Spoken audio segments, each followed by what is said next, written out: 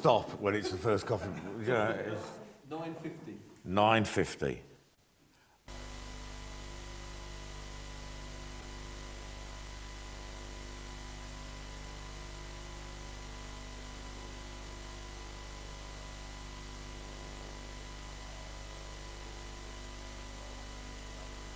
It's out before I spoke, which is when is the coffee break. And uh, now, hope that doesn't mean that the teaching is less important. But, uh, so here goes. Right. Um, let's just pray, shall we?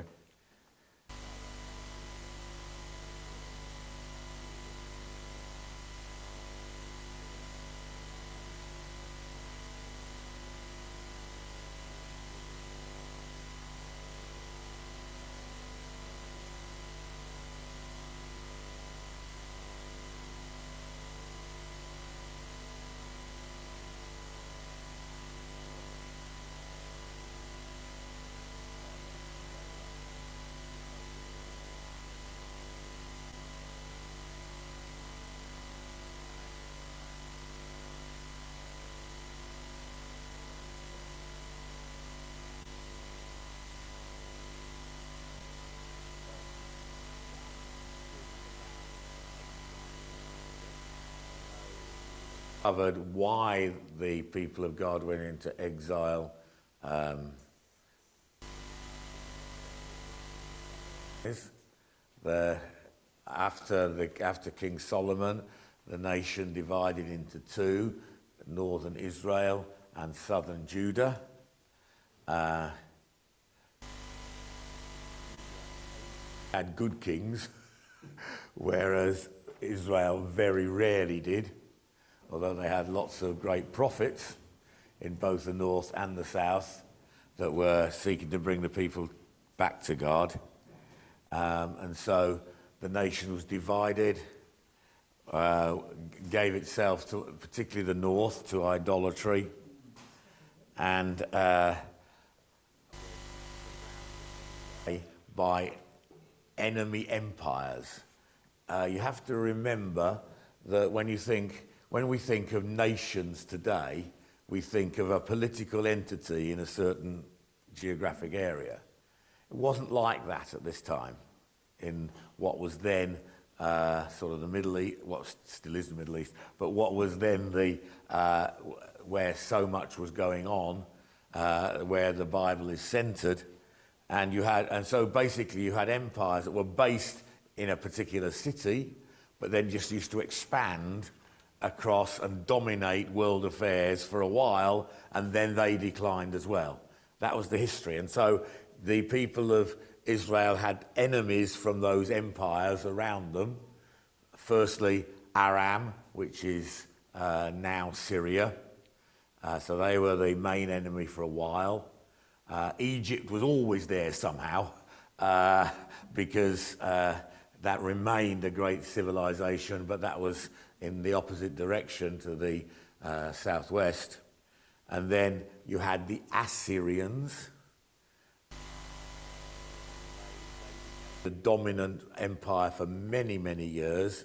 And the Assyrians, uh, in the end, took away the uh, people of the northern kingdom into captivity. When we talk about the captivity literature, we're not talking about that because there wasn't any.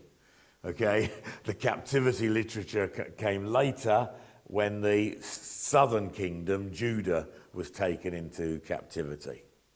And so the, the, the, so the, the Assyrians, their policy was, and this was quite common in empires of that day, in order to stop sort of nationalistic feelings amongst the people they conquered, they would take the people they conquered and transfer them into another part of the empire.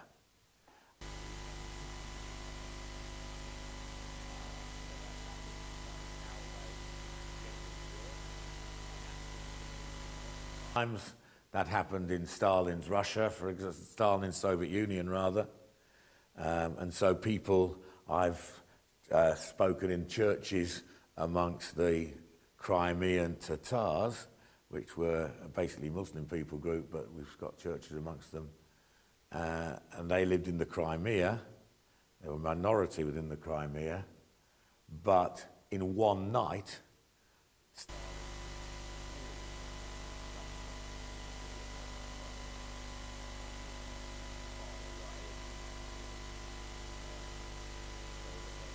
longer in their own territory in the Crimea. So that happens today, and it's how it, and it's also, but it's, it, that policy was developed particularly during this time, and the Assyrian Empire would do that.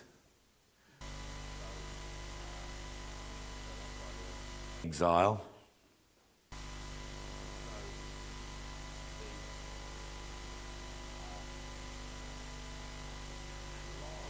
Those people were lost sight of.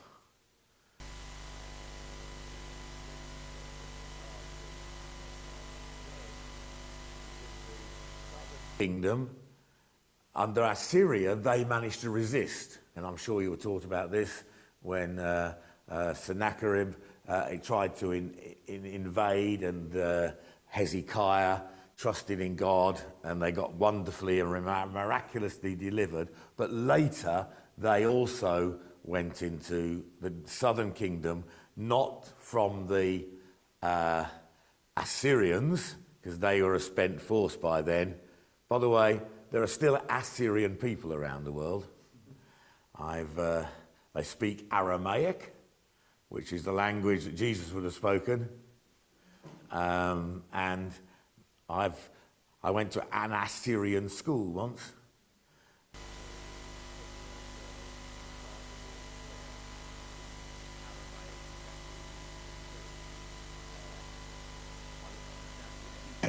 but uh, it was, uh, so the, the, Assyrian people are still around. They haven't got their own country anymore, and they speak Aramaic. Um, but uh, Babylon had then begun to dominate. Uh, that became the empire that dominated instead. And the, they took waves of exiles from the land of Israel, the land of Judah rather, the southern part, and took them into Babylon. They took the educated, the young educated potential leaders first, and then they gradually took others as well. Um, but some, a few, um, were left in the land and then mixed with another other people from other nations who were dumped there, so that the because the Babylonian Empire. Um,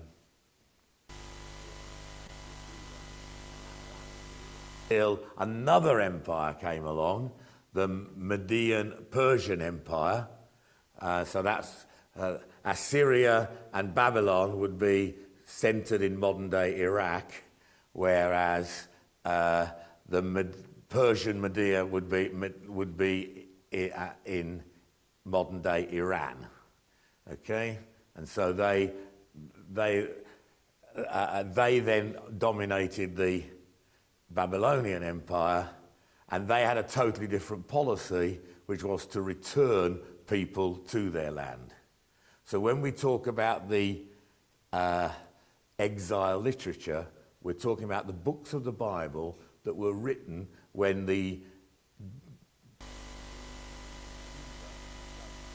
kingdom were in exile in Babylon.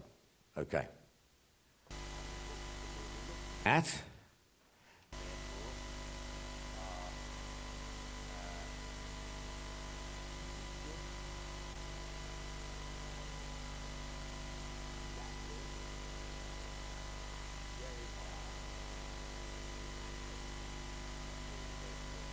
because they were the ones that came back into the land. But those are the uh,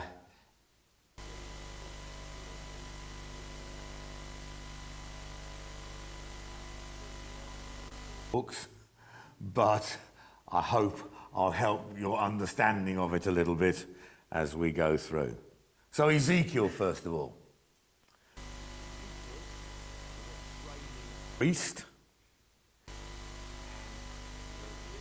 land of Israel at one of the most tragic moments in their history, which is when the Babylonians invaded.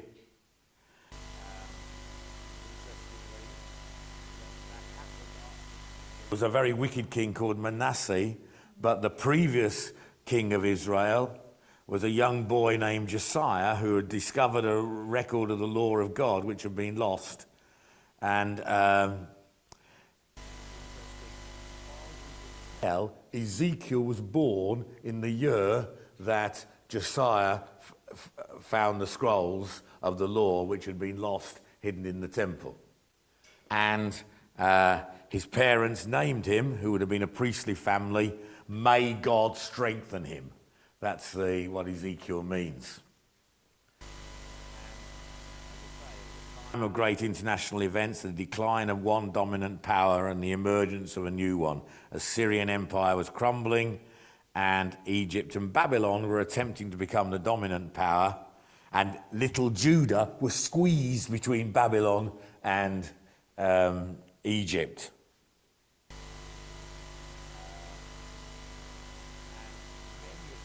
Especially the leaders were taken into Babylon, including Ezekiel age 25. And so he was a trainee priest, would have come into his full priesthood at the age of 30. And uh, while in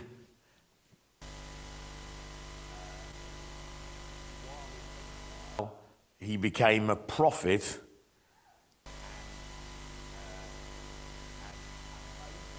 of God. If you want to really help your worship, read early Ezekiel. It's not the one we often tend to read, but I'll be going into it in a moment. But it's amazing visions of the glory of God.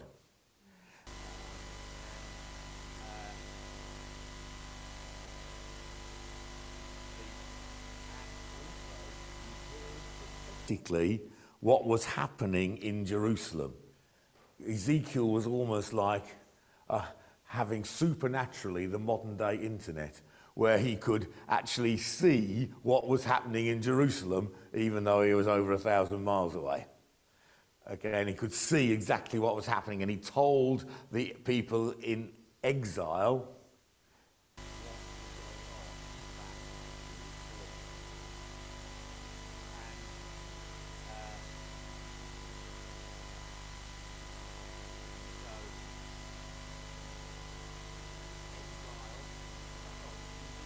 lived amongst the exiles.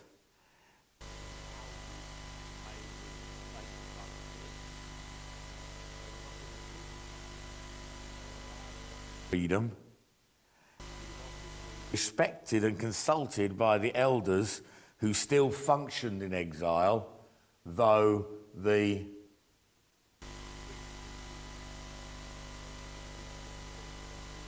Jerusalem to offer sacrifices there, but uh, the sort of elders and teachers and the synagogue system grew up while they were in exile. And Ezekiel was somebody who would be consulted because of his prophetic gifts by the um,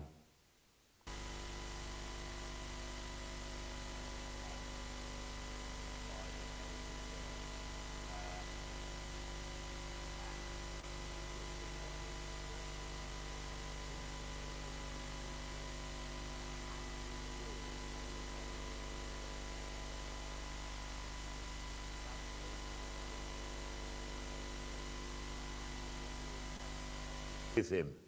And uh, he, he, started, he started first prophesying and explaining, as I said earlier, what was happening in Jerusalem. He saw when the city fell completely, because the city hadn't at that time fallen to Nebuchadnezzar. He'd just taken all the young leaders out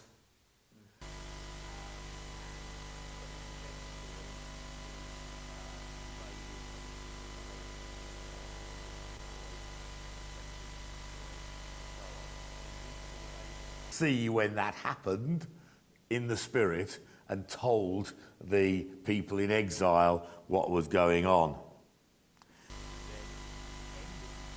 We'll go through some of this in more detail in a moment. From chapter 40 onwards, we began to have this incredible vision of the whole thing being restored and people going back to their land um, and uh, this new temple. But actually, if you read the details of this temple, and we'll look at some of it later on in a moment, uh, he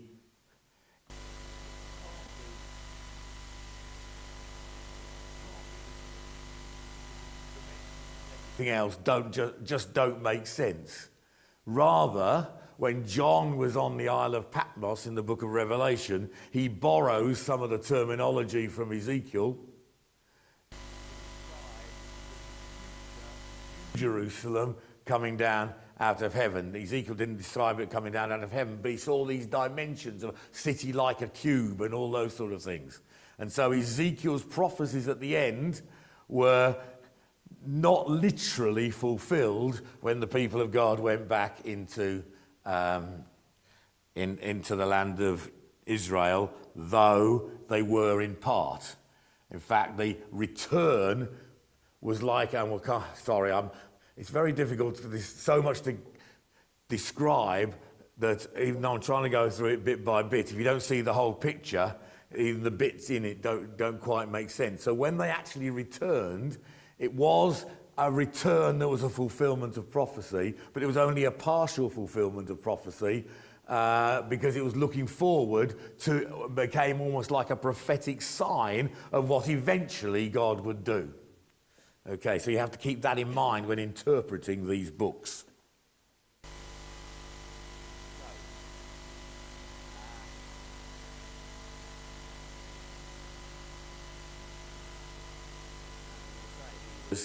An extraordinary prophet. He, as he looked at what was going on in Jerusalem, he saw one of the leaders die. He, uh, uh, he had he had these almost like trance like experiences, couldn't be switched on to order, so it wasn't that they could suddenly, come on, Ezekiel, tell us what's going on. It never happened like that. It only happened when the Holy Spirit came upon him and he was suddenly able to see.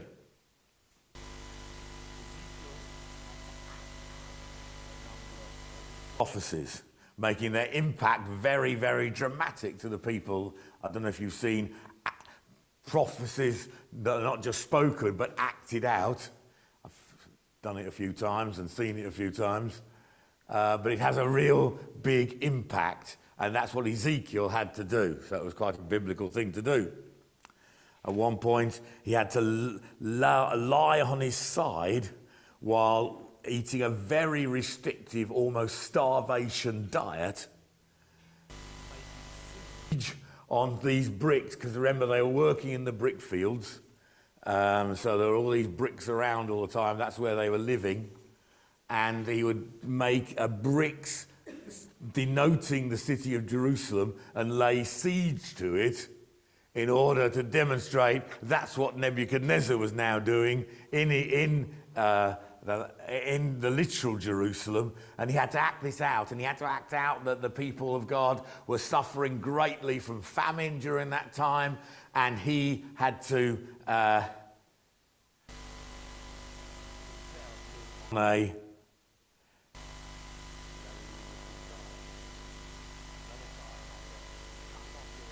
with a sword and then chase it all around, threw it up into the air and chased it around. And this bit denoted those staying in Jerusalem, this bit denoted those who had gone into captivity, and so on. And so it must have been quite fun to watch uh, Ezekiel at work, you might say, although probably it wasn't because it was so serious.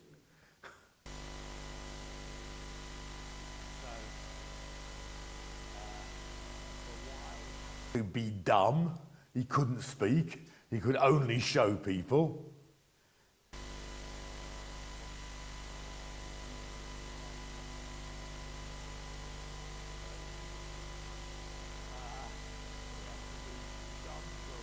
And just act it out.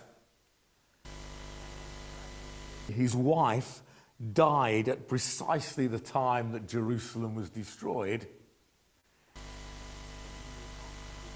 to mourn outwardly for her.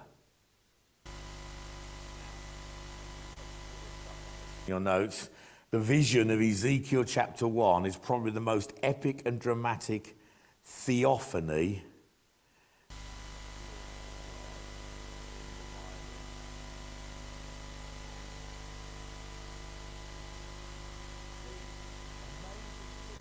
Ezekiel.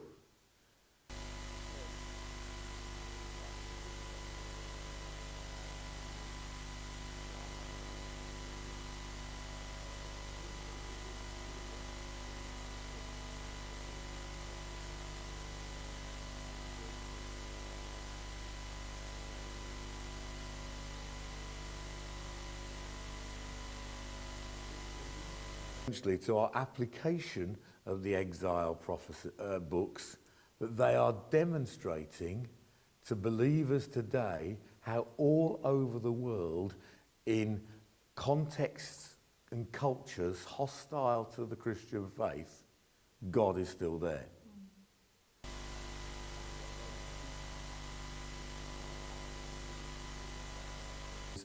Later,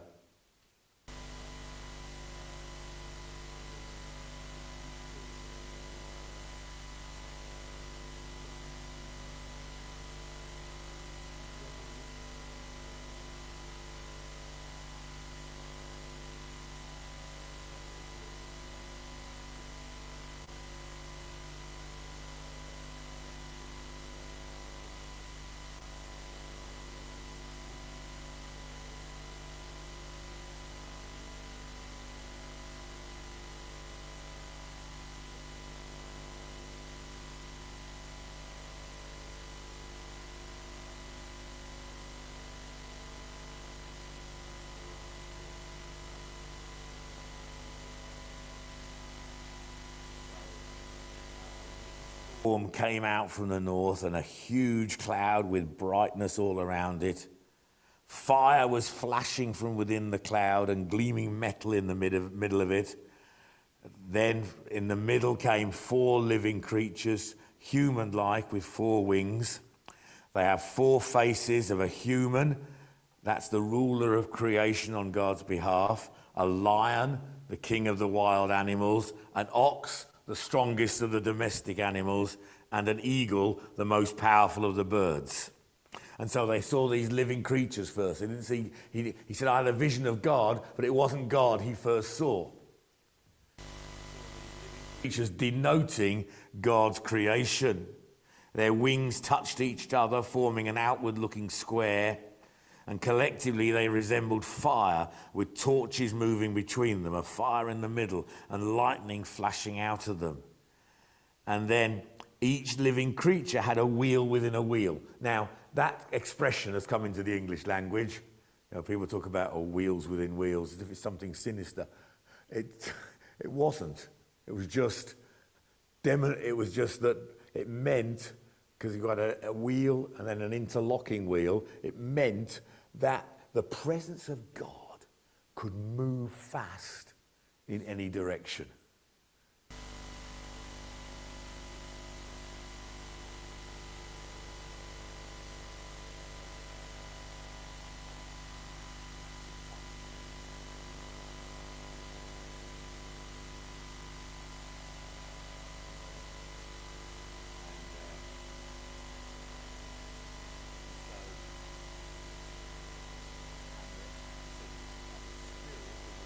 Creatures is within the wheels.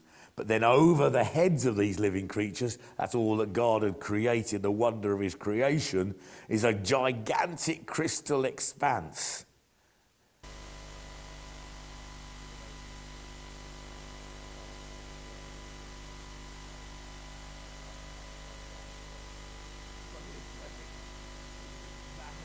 massive scale.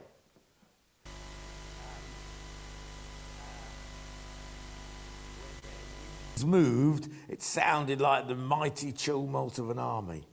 When the voice above them is heard, they let down their wings and fall silence. And above the expanse, above this upside down walk, is a throne surrounded by rainbows of living colour. And seated on the throne is one with a human appearance, gleaming metal from the waist up and fire from the waist down. And it says, Such was the appearance of the likeness of the glory of Yahweh.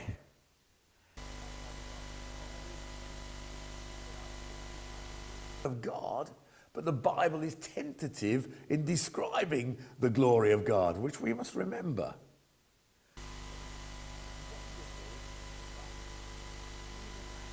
Couldn't quite describe it. And so translation of that into sort of modern English, the translation in the Bible, such was the appearance of the likeness of the glory of the Yahweh. So it's not Yahweh, it's not the glory of Yahweh, it's the likeness, it's not even just the likeness of the glory of Yahweh, it's the appearance of the likeness of the glory of Yahweh. Okay? And that was enough for worship.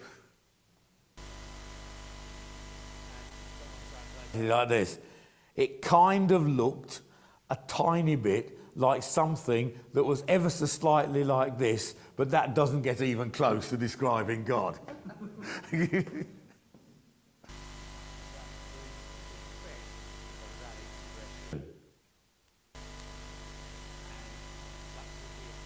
the likeness of the glory of Yahweh. Then, as you go through the book, the calling of Ezekiel, God speaks to Ezekiel to be in an attitude of ready service, and he was raised up by the Spirit strengthening him. And it wasn't a terribly, it, in chapter 4, his commission wasn't terribly attractive. Uh, you'll basically go to these people, you'll tell them about how terrible everything is, and they won't really listen. okay? Not terribly attractive. But our responsibility is to do God's bidding and say what He tells us, whatever the response. We just come, even though they may not respond to Him. Treated God Himself.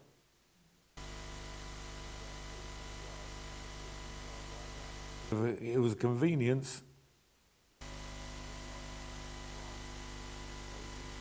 The convenience. You know, this is it's still around this sort of weird, unfortunate misunderstanding of theology that doesn't worship God but uses God as a sort of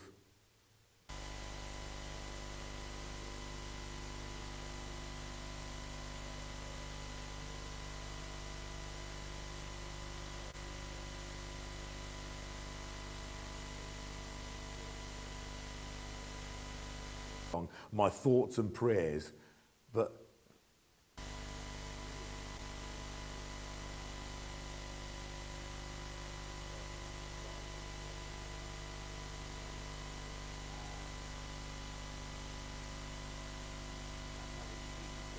himself.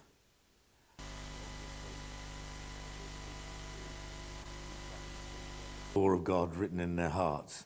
Nevertheless, we can be hurt as Ezekiel was warned he would be. He had to learn obedience. And he had a scroll writing on both sides. Wonder why that is. It was a, that was the word of God to him, probably because he couldn't then add to it. If it's written on both sides of the paper, he can't turn it over and add to it. But also, there's a great deal to say because scrolls were normally written on one side only. famous chapters in Ezekiel, Ezekiel chapter 37. Um, the prime meaning of that vision is the restoration of Israel to their land, even when it seemed hopeless. Ezekiel chapter 37 is the vision of the valley of dry bones. But it's something that we can use prophetically today. Even more fully fulfilled in the, in, in the new birth, a new people united in Christ, and eventual physical resurrection.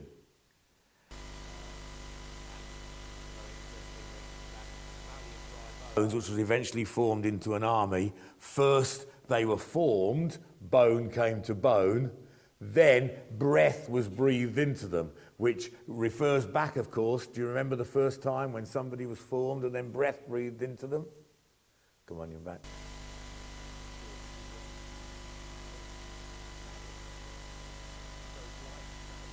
This is a new creation.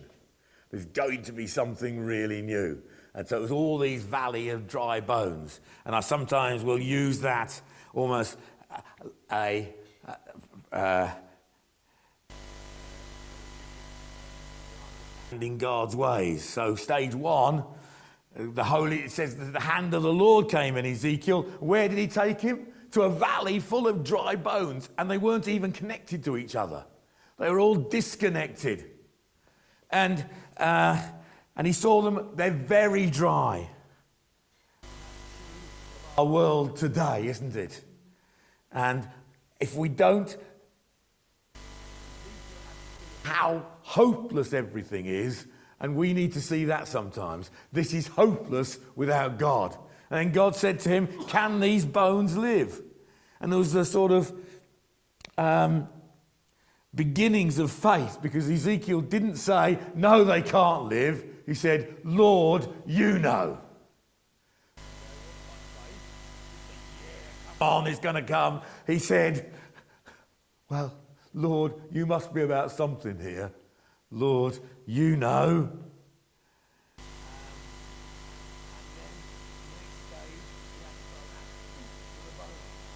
And sometimes when we're sharing the gospel today, it sounds like speak, it seems like speaking to bones, doesn't it? People hardly have any response to, to it. But that required growing faith as he spoke out God's word.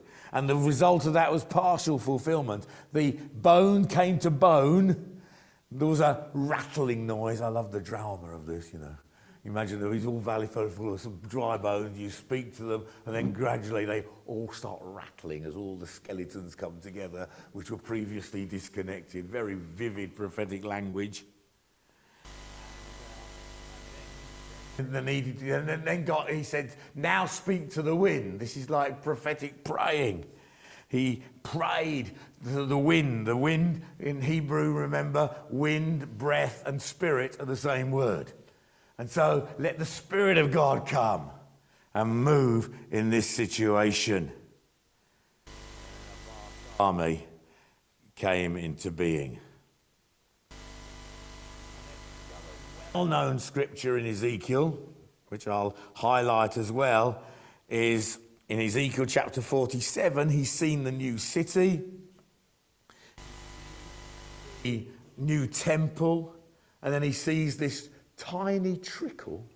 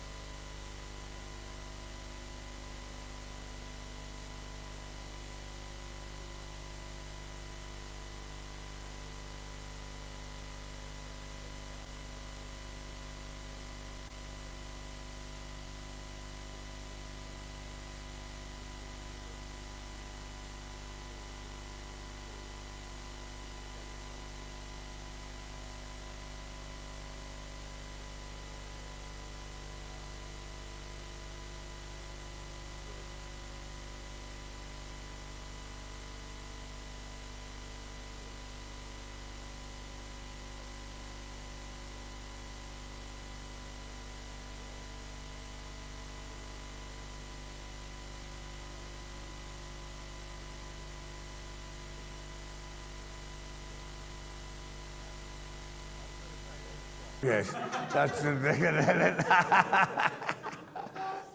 yeah. okay, yes, just just at the right time there. Yeah. Prophetic coffee. Prophetic coffee machine. Yeah. Okay. and uh, G- it says, as the scripture is fulfilled. A scripture has said, and nobody can find a scripture exactly that says that, but the nearest one is Ezekiel's river that from the people of God will flow this war, this river that gets deeper and deeper. So, you know, if you go out, if you go out to places where the gospel's not known, you go out to land unreached people groups, you suddenly find the river's deeper there. Because the presence of God, excuse me, I just get excited about those things. Because the presence of God is more and more there.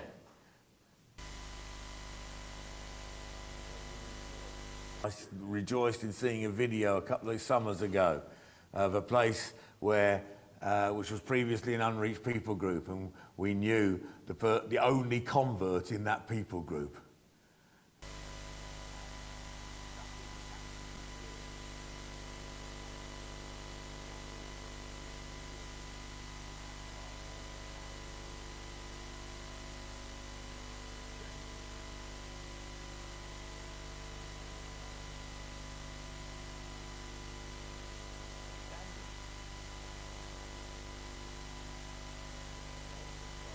You're now, we won't quite finishing him, finish him because I'll stop at your coffee break designated times rather than as a special place in my notes. It's the law of the meeting person. Yes, right.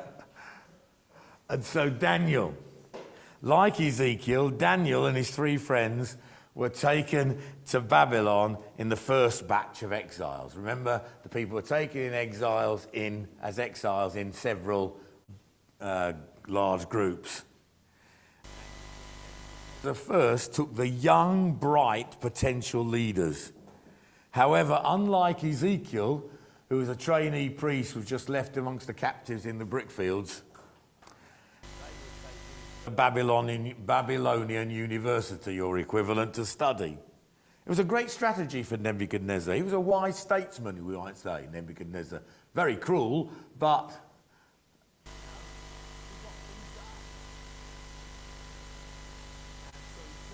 highest, the brightest potential leaders changed their names, so got rid of their old identity as Jews, changed their names,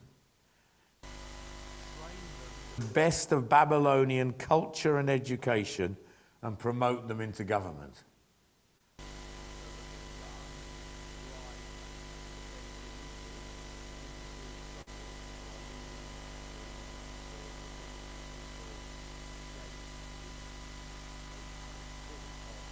Establishment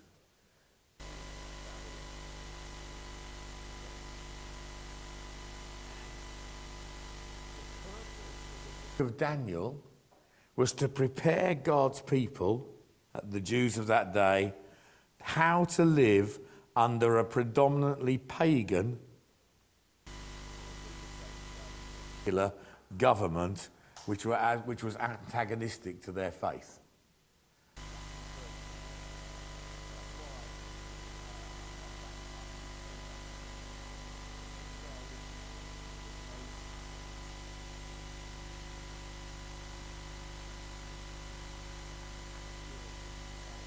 Terms of saying how people should live in a, sec, in a, in a secular or pagan world. Different from the uh, worldview of the people of God.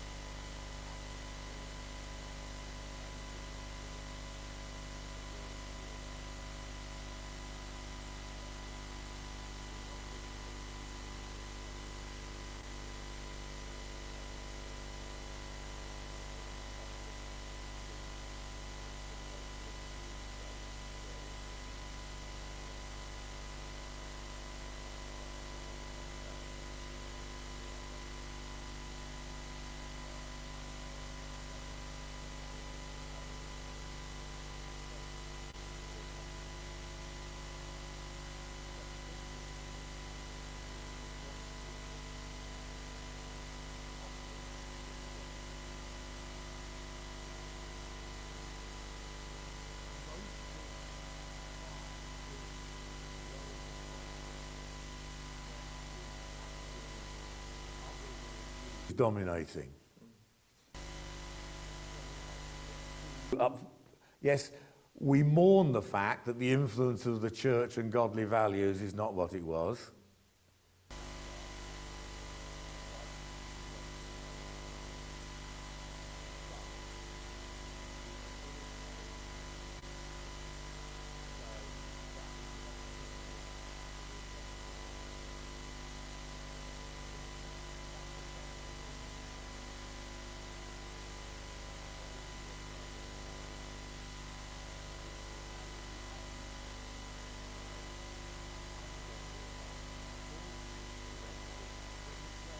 Own land, though that has other lessons to teach us.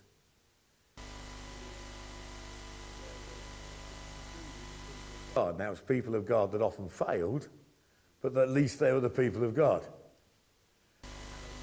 Who, even though they gave it up and went to idolatry, their basic worldview, as Moses taught them, would have still been a godly worldview. Well, that was no longer the dominant thing. By applying to, to modern governments of God, you're more accurate to apply Daniel and Ezekiel and Esther, as we will see, and Jeremiah to that context.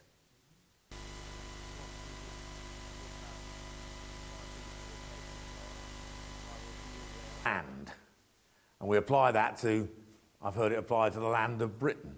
No, no, that was talking about the people of God.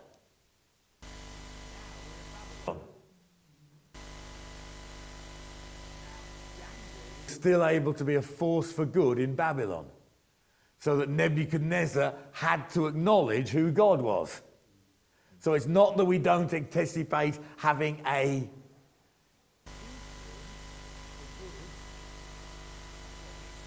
the earth and light of the world means. It's for good, and we pray for Christian people in positions of high authority and that sort of thing.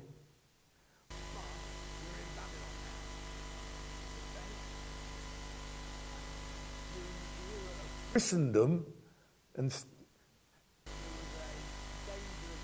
not in Babylon, we're like amongst the people of God. Right? You got that? Most of the world. It may not be a secular worldview like ours, it might be an Islamic worldview or a Hindu worldview.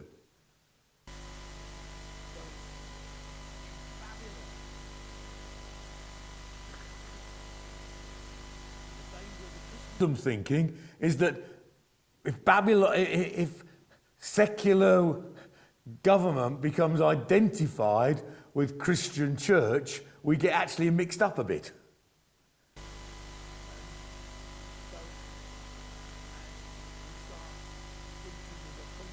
Answer to the, to the problems, whereas actually, no, gospel to thrive.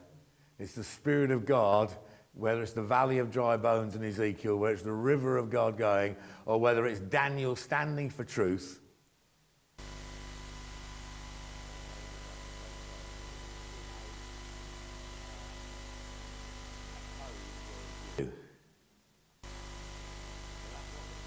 book of Daniel is to be.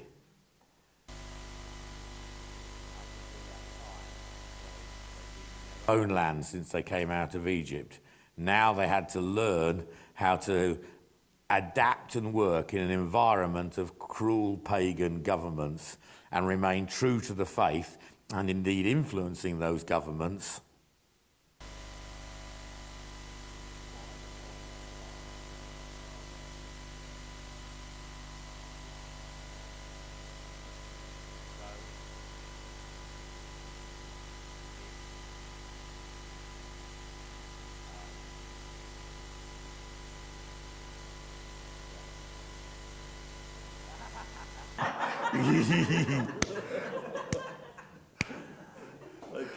Okay, so I, I'll go back to Daniel later, but I hope you got that lesson. Okay, if we can be.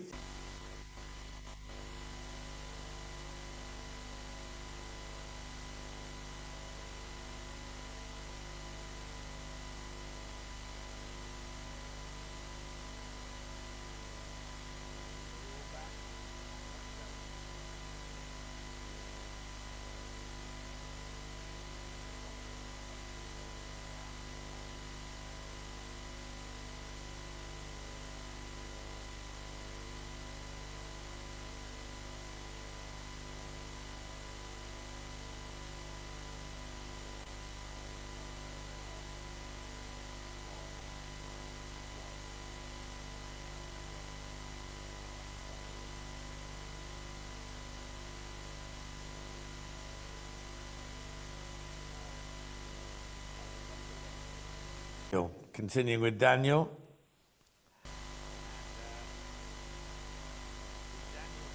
3, King Nebuchadnezzar wanted to unite his empire consisting of many races, languages, and faiths.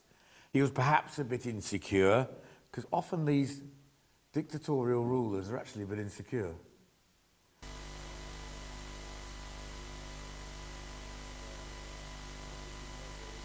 Insecure, particularly because he had another dream that Daniel had to interpret for him in an earlier chapter. And so he has How do I unite all these nations that I'm taking responsibility for? And so he decided on building a massive gold statue, 90 feet tall and a foot wide. Interesting. Work for the government from these different ethnic groups, because many of them did. When they heard the orchestra play, they were to bow down and worship the massive statue. Anyone who didn't would be thrown into a furnace, probably one of those used for firing bricks. Ancient world to glorify some monarch. Tyrannical governments today often expect people to unite around some image of them, and that's happening, that's happening today in the world.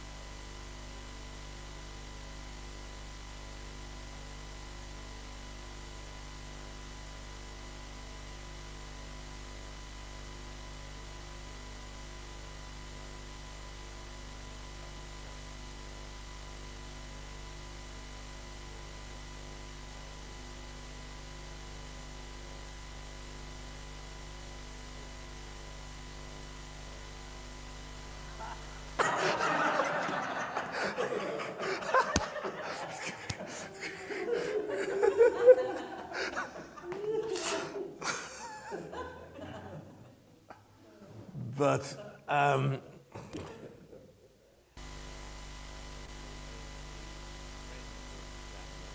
Shadrach, Meshach, and Abednego. Uh,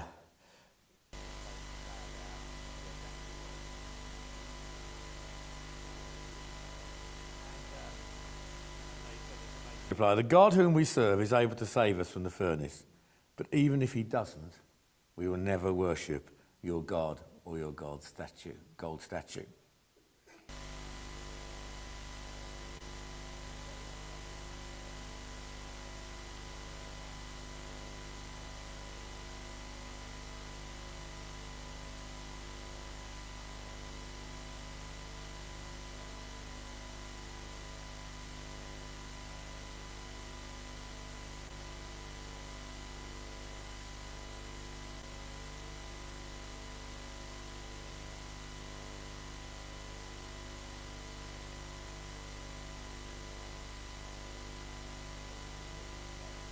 Men walking around unhurt, forth looking like a god.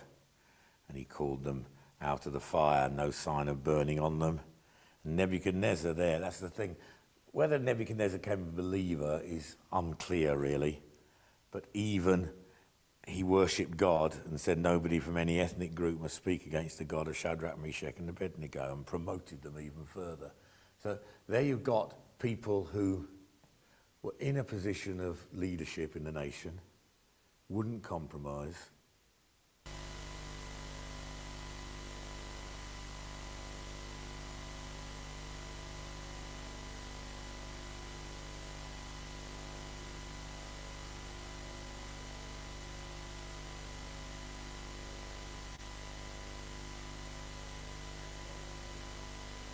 the story relates how the men are put on the spot, denounced and interrogated, executed, delivered, and promoted. The arrogant king is humbled, the faithful Jews are exalted.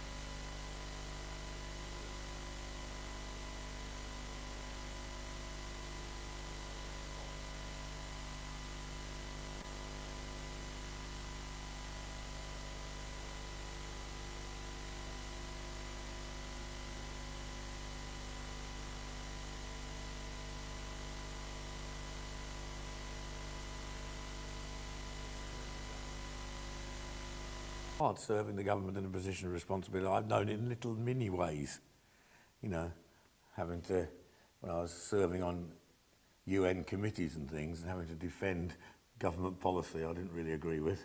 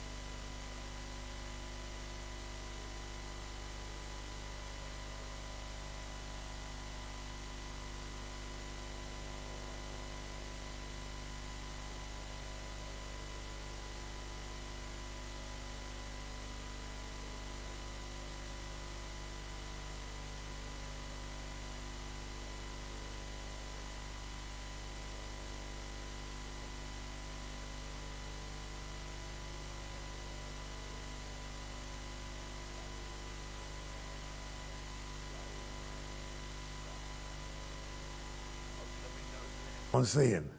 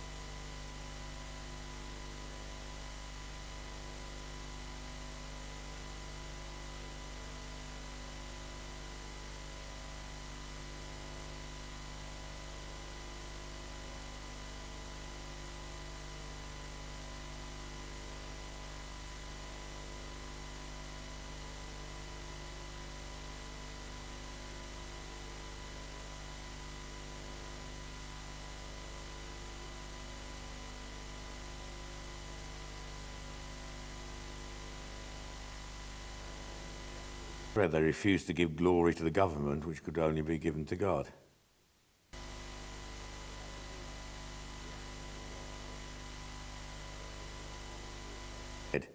Many, many believers have to face statist religion. There's an evil spirit at work in this, and Christians in most of the world suffer under it.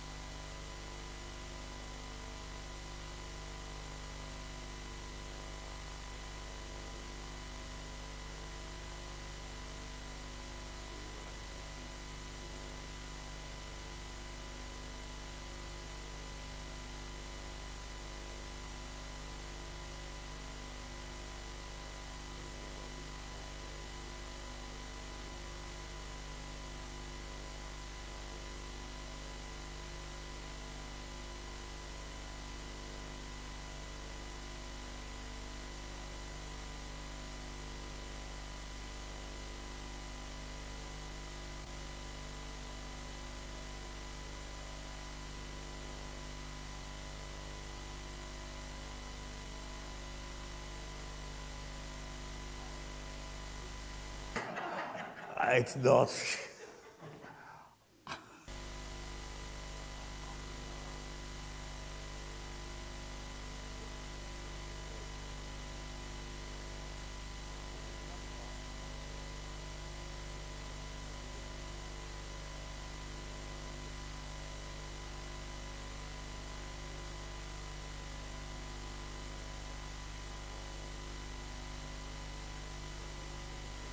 As well to Daniel, where you get all these visions of fearsome beasts and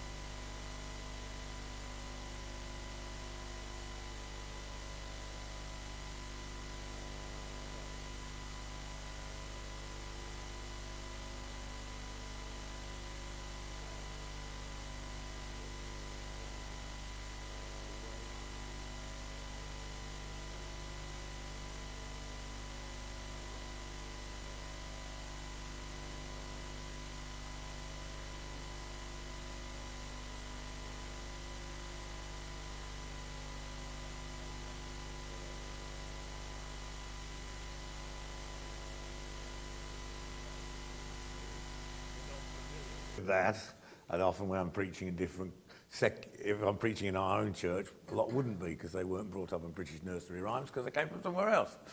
Uh, and but the the point is, no one understands what it means, so you start speculating about what it means.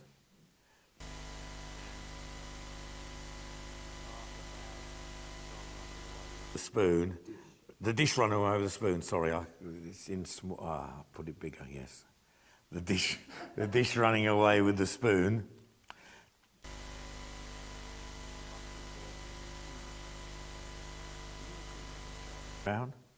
I can't say.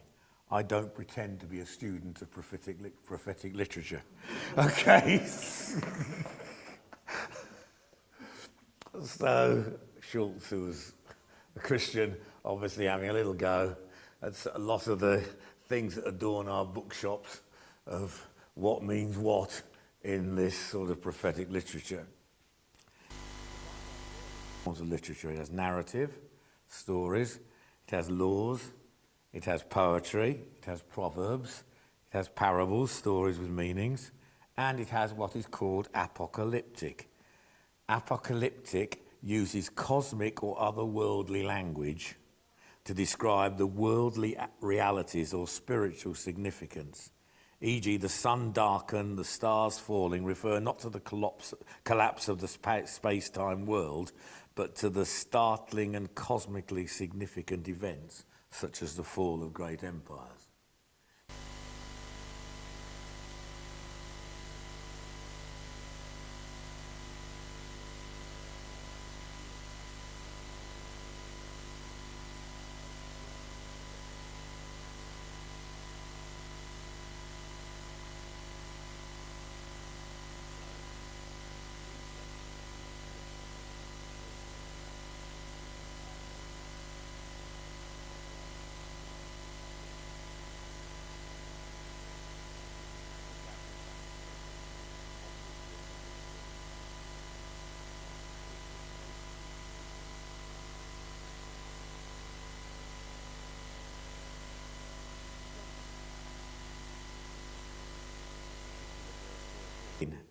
As my vision continued that night, I saw someone like a son of man coming with the clouds of heaven.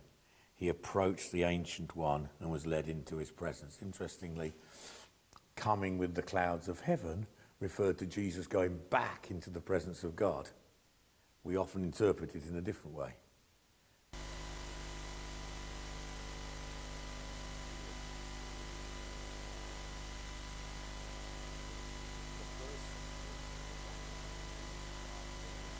Looking beasts coming from the sea, the sea representing chaos and disorder to the Hebrew mind, and the beasts become increasingly more grotesque and ferocious.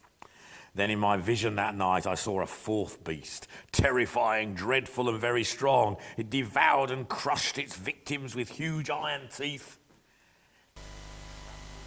Beneath its feet, it was different from any of the other beasts, and it had ten horns.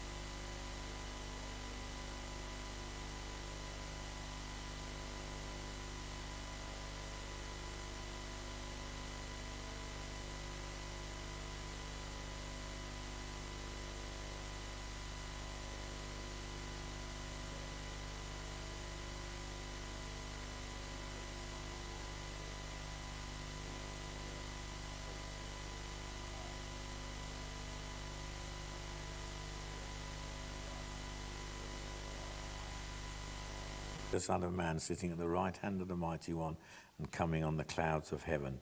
The high priest tore his clothes. Why do we need any more witnesses? He asked. You have heard the blasphemy. What do you think? They all condemned him as worthy of death.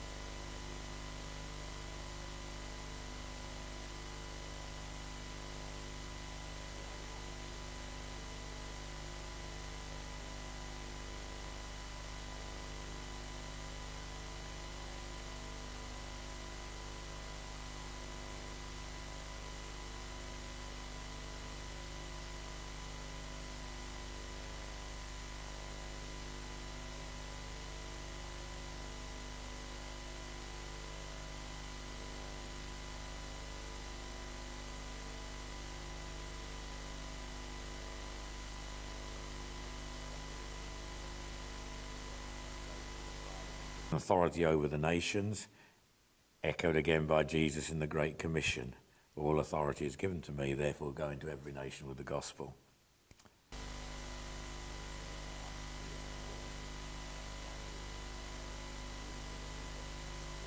Twenty years, seventy times seven, and so on.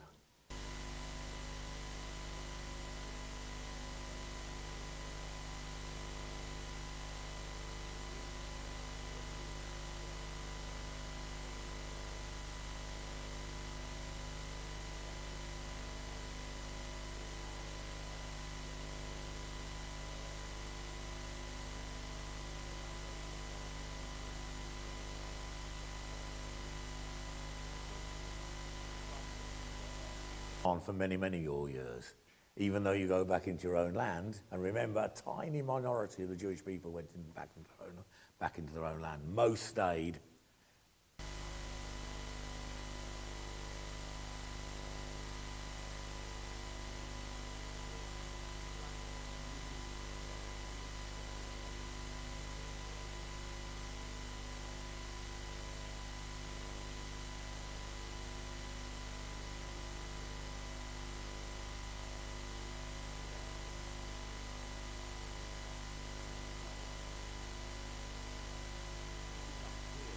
Years of exile cease and Israel is back in, their, in the glorious land, they will have to plod through a long stretch of this troubled stuff we call history. Getting back to the land will not mean that the kingdom of God will immediately appear.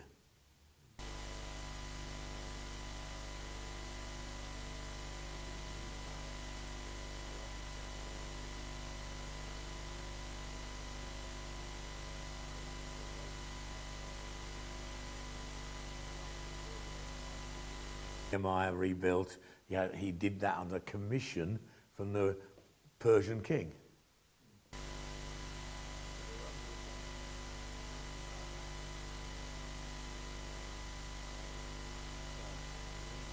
Israelites were to live out their faith in a Gentile world under circumstances that would make it more and more difficult to do so. They had to count on the sovereignty of God to sustain them generation by generation, crisis by crisis. They also had to trust the power of God to control the flow of world empires as they rose and fell. God's agenda is never in jeopardy. Nevertheless, they were to be prepared for the long term. Even Christ's people today are not exactly thrilled over that word.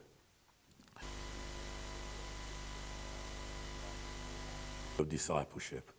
Not only Daniel but Jesus himself has taught us better. He said, We will hear of wars and rumors of wars, that nation will rise against nation and kingdom against kingdom. But these are not the sign of the end. They are simply the things, how things will be in the present age. And it is in and through these bumps and jumps and lumps of history that we are to prove, hate, prove faithful.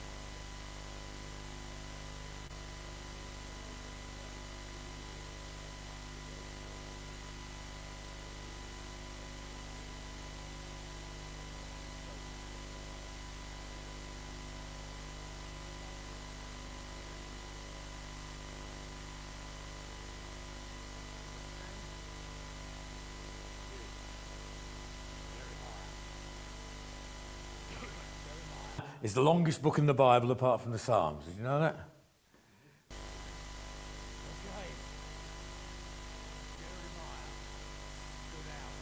Citizens of that uncertain world as a man of vision where most people saw only turmoil and uncertainty. He perceived the hand of God at work in the crises of his world and delivered a message that addressed both his own age and subsequent generations.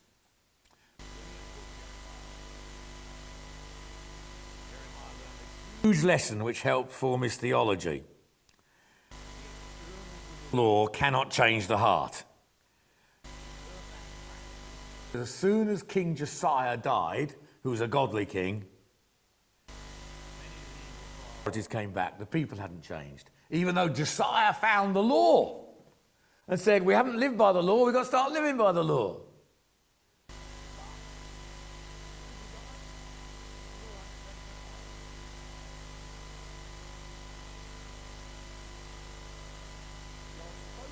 Babylon will come, in, will come and take some into exile and destroy others. The best thing is to surrender a completely unpopular message to a nationalistic people.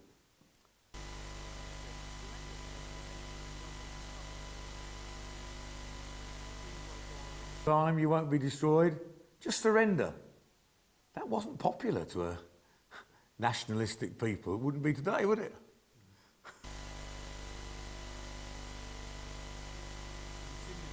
He won't rescue you. All the other prophets said the opposite. God's with us. We're the temple of the Lord. And Jeremiah pours scorn on that. We're the temple of the Lord. We're the temple of the Lord, everyone says.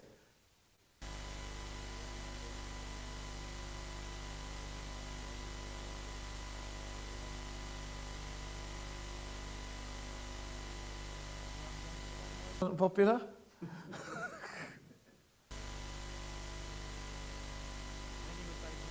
activity. And Jeremiah wrote to them later. What Jeremiah prophesied happened, but he was thrown into prison, his writings burned. Message they would return. Eventually, aged about 70, he was taken off by some people fleeing the land into Egypt. There he eventually died. He had a terrible life, Jeremiah.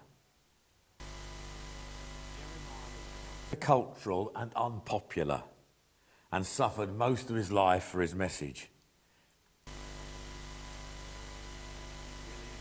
Family, of soul. Something else, please.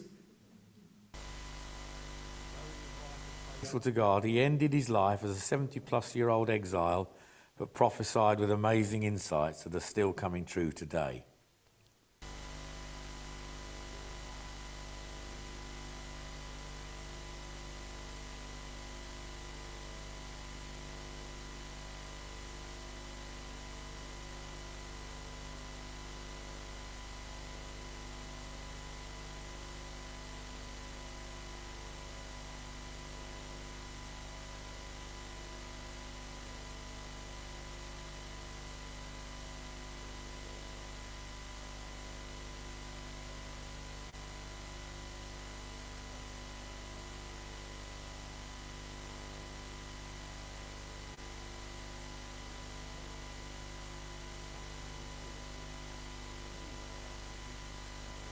Philippi, he asked his disciples, Who do people say the Son of Man is? They replied, Some say John the Baptist, others say Elijah.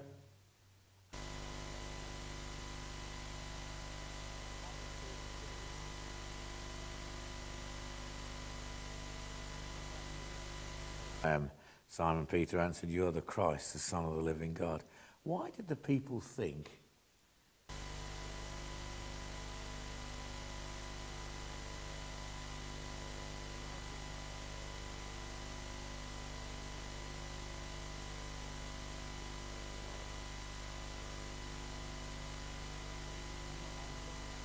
Daniel or Zechariah. We even have that expression. We're losing it now, but previous generations, he's a bit of a Jeremiah, you know, a bit miserable. Or you might say, if you read a different sort of literature, he's a bit of an Eeyore. You know, it's. Uh, that, that's, that's said in the same way of Jeremiah.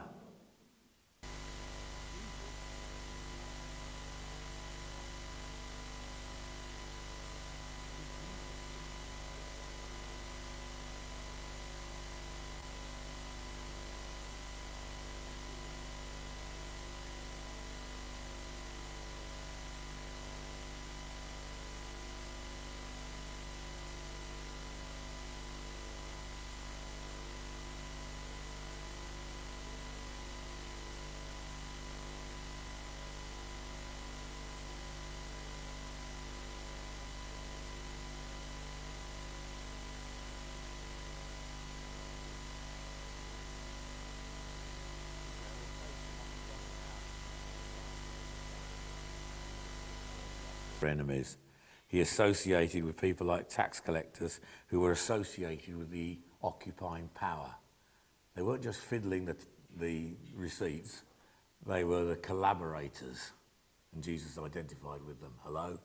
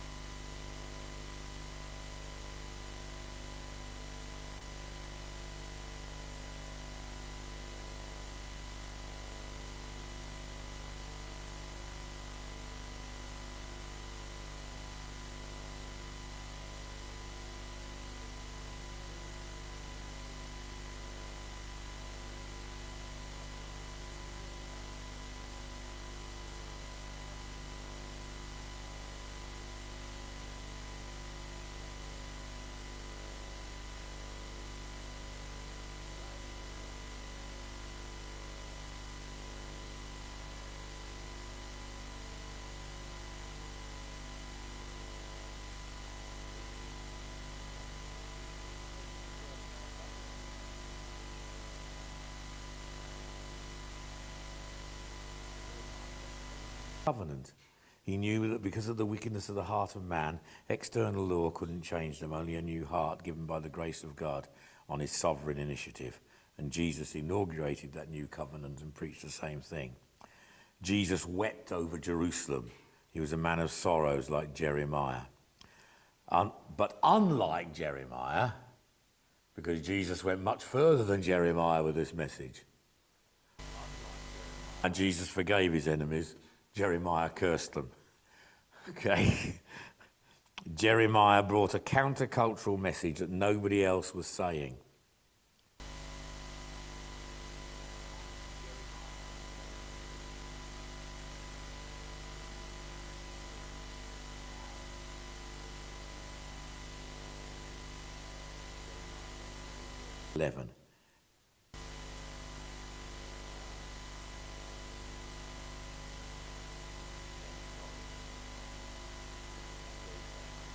Else was saying. Then he gave what was the prophetic message, sorry, Jeremiah 29, 4 to 5 and verse 7. Uh, Jeremiah said, The God of Israel says to all I carried into exile from Jerusalem to Babylon, build houses and settle down, plant gardens and eat what they produce. Also seek the peace and prosperity of the city to which I have carried you into exile. Pray to the Lord for it because if it prospers, you too will prosper.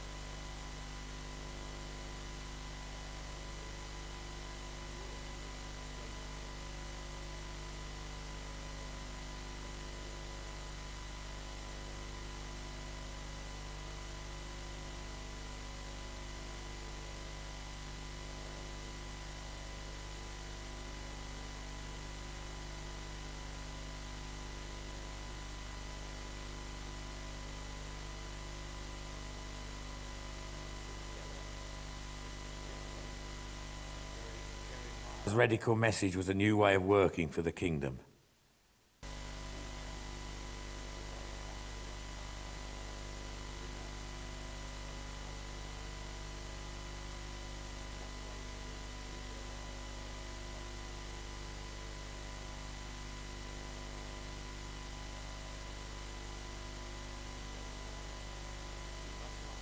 subculture in which we externally dress and talk differently, avoid certain gross behaviours, but internally we have the same values as the surrounding culture. E.g., believers may not smoke or drink too much or have sex outside of marriage, yet in their core beings they may be as materialistic and individualistic and status or image conscious as the society around.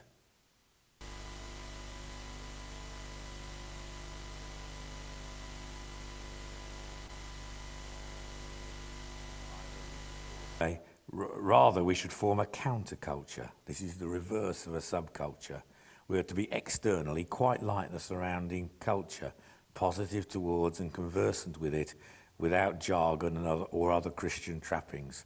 Yet in worldview, values and lifestyle demonstrate chastity, simplicity, humility, and self sacrifice. He goes on to say Jeremiah was a proponent of counterculture in Jeremiah 29.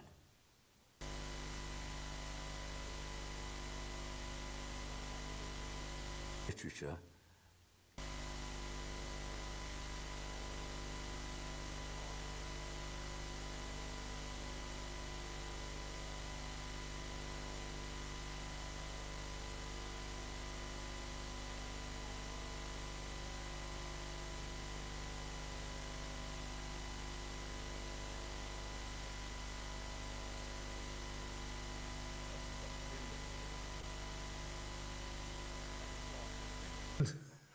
but it's a brilliant story. Actually, for the Jewish Feast of Purim, still celebrated by Jewish people all over the world today. It's also a fun story. We miss it because we read it in translation. Serious and dangerous events, it is full of surprises and jokes. A moment in history of the great Persian Empire, yet full of humorous exaggeration. Whoever wrote it is taking the mick out of this stupid empire that glories in its own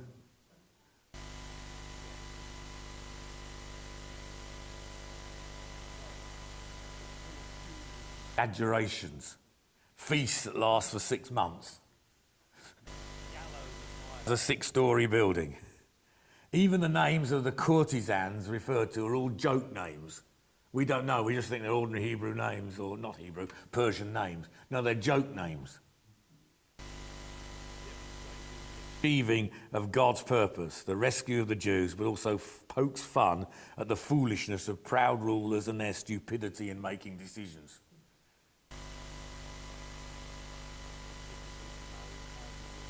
How do we see it? It's, what's the nearest equivalent today? Something like the Blackadder view of history, or, or a bit more up to date, horrible histories.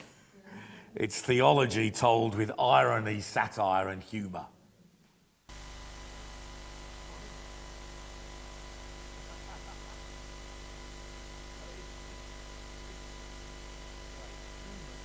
Edge off horror and makes it impossible to read a story we wouldn't be able to otherwise able to read.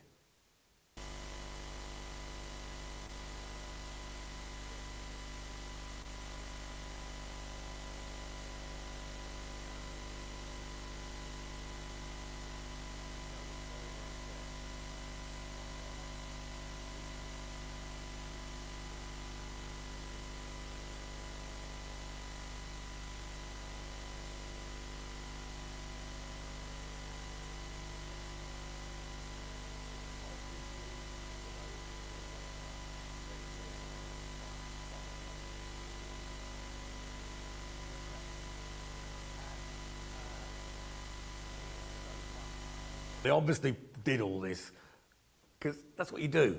You have to. You have to, to live with it.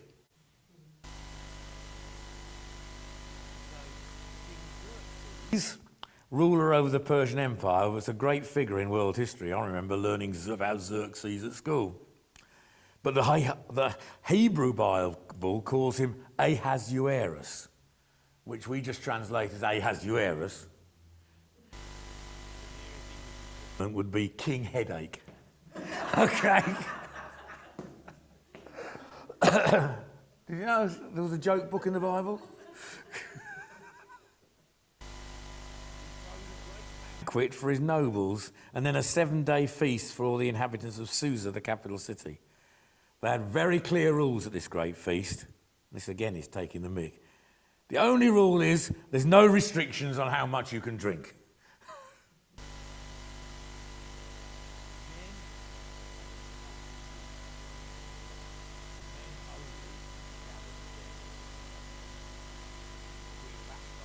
A separate party for the women.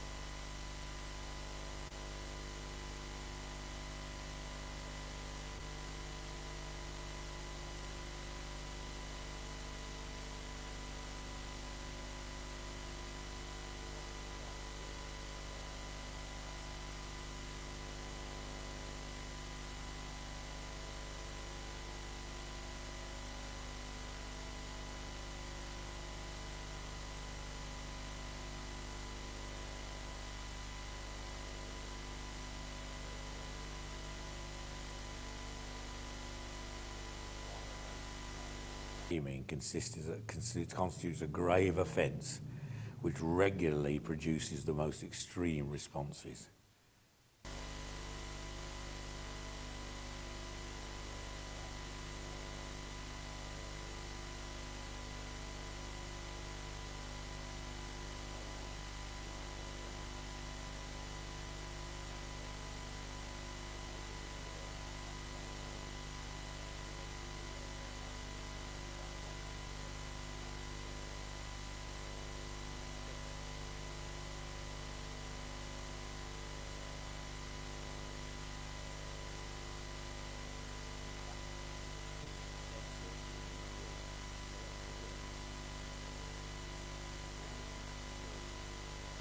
For the king's harem. One of these may please the king and so become queen.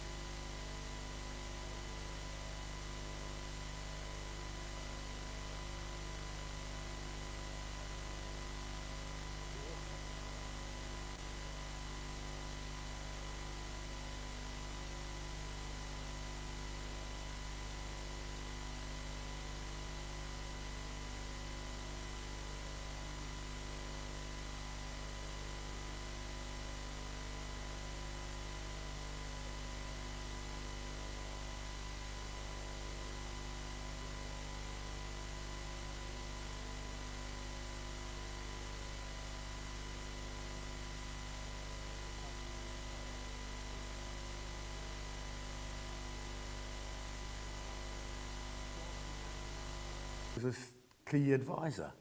He got a job, top civil servant.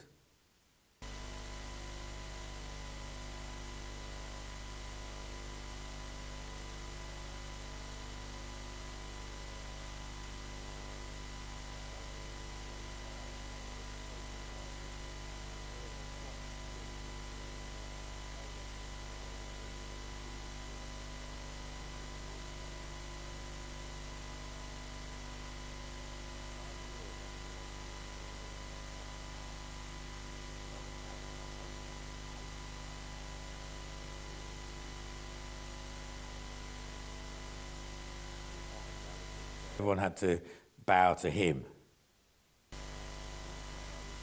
So furious, Haman influenced the king. Again, the king is simply manipulated by all those around him, not thinking for himself at all, to pass a law which cannot be changed.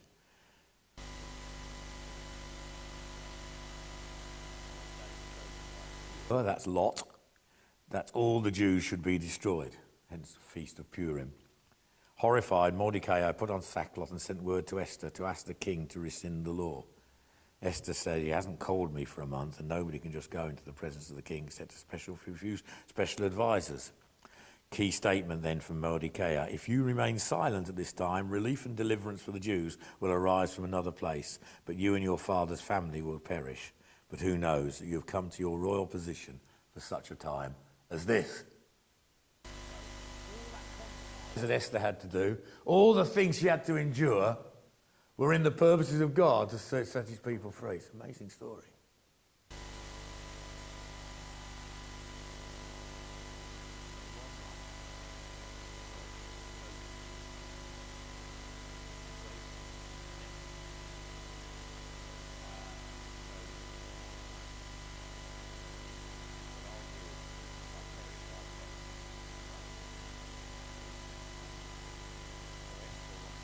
The entrance to the king's hall, she would only be allowed in if he extended his scepter. If not, she would die. The king extended his scepter. What do you want, Queen Esther? And I'll give it to you. Esther was very wise and was not direct. In the East, you don't do things directly.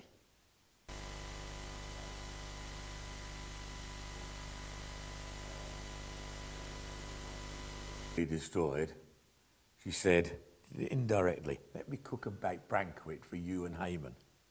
So they had a great banquet. Let's eat first, leave the business to the end, which you do in the East.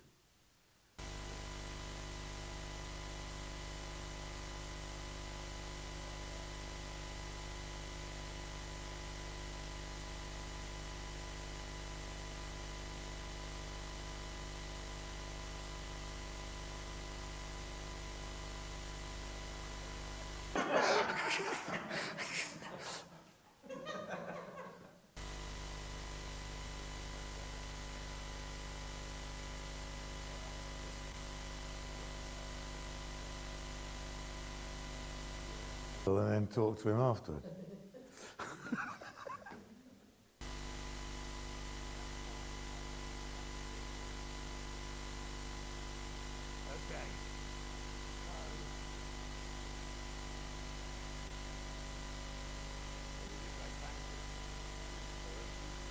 And what do you want, Esther? Please, will you come to another banquet with Haman? I'm so honoured by the king and queen, I'm going to two banquets. Mordecai got so angry he built a six foot story high gallows to, put, to hang Mordecai on. That night, King Headache couldn't sleep. Of his reign.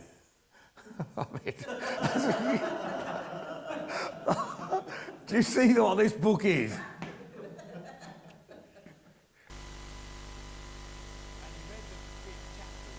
Mordecai had saved the king. And he said, I never honoured him.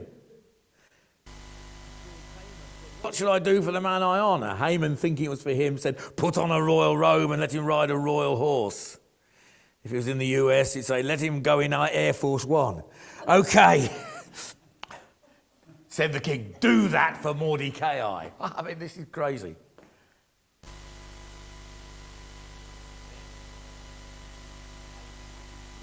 The second banquet, he knew something was coming. Esther, what is your request?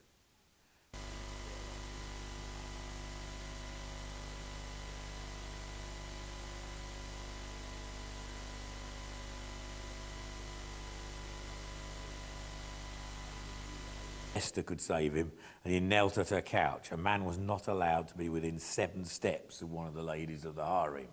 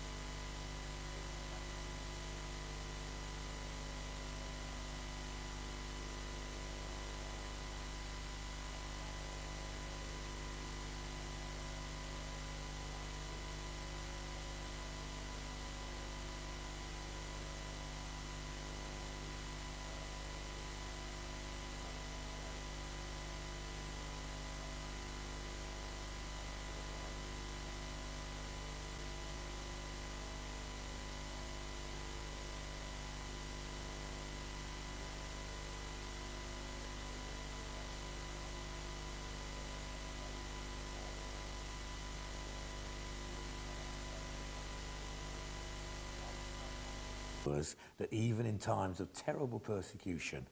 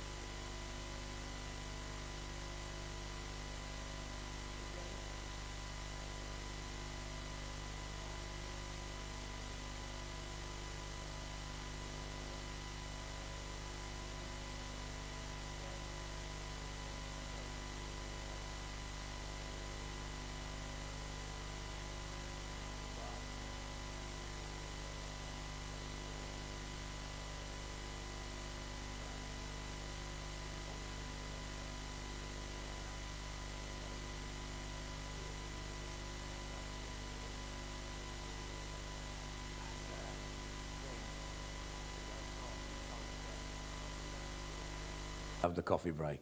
That's the program as I understand it. Okay. So, Um, all right.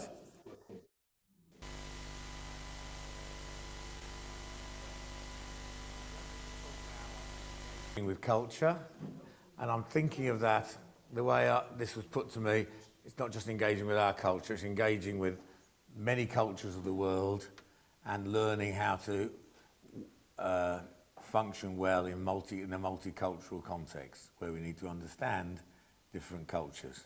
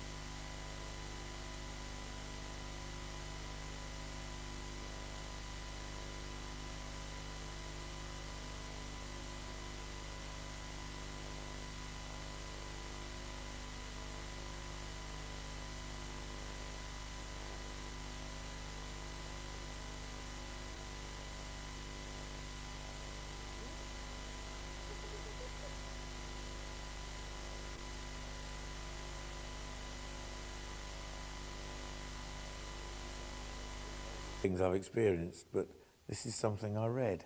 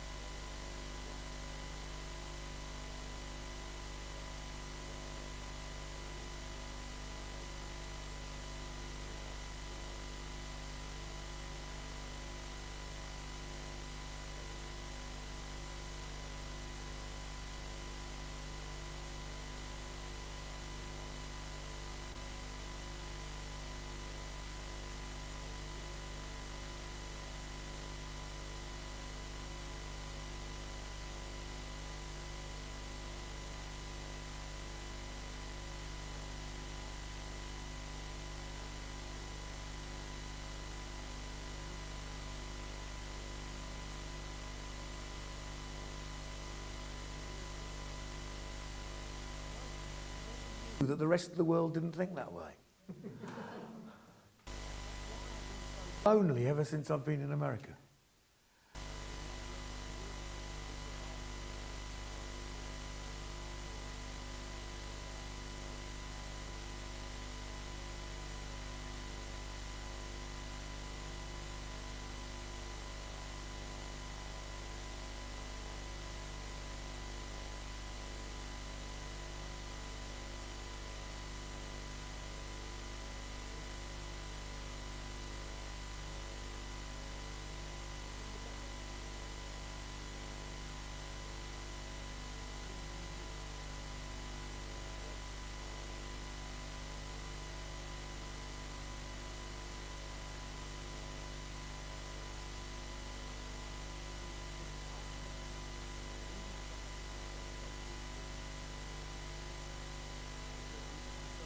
Understand a lot of the references. Borrowed to Emmaus.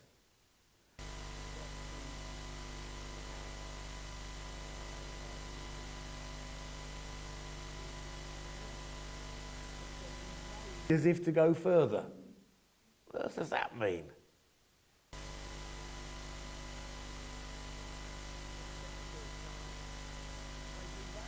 On him to come in.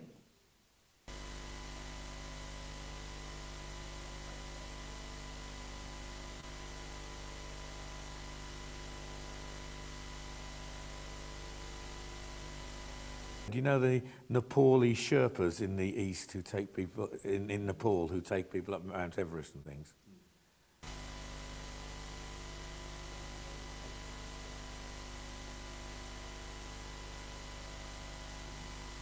Never told before how Europeans think. Though they are our colleagues, we've been hurt by them for many years.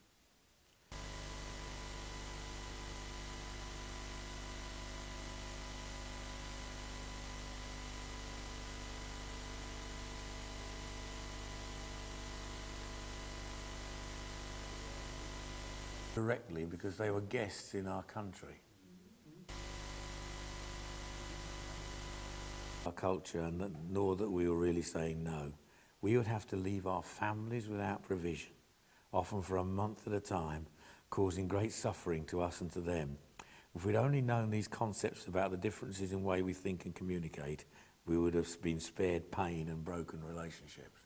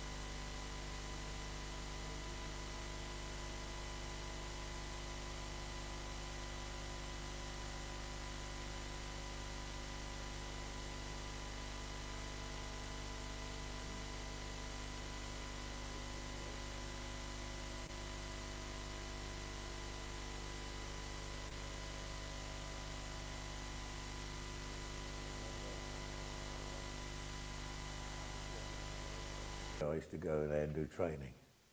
Then I, because I started working in other countries, I never went back to India. Then I went again after 10 years.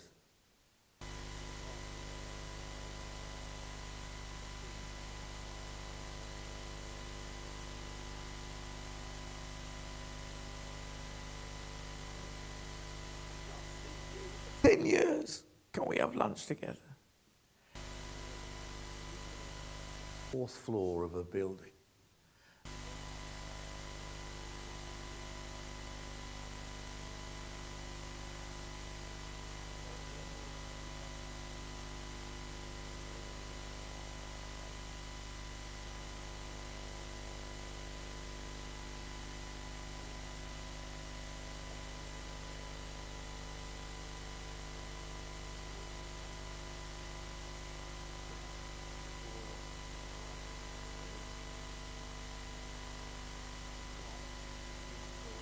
Everybody there.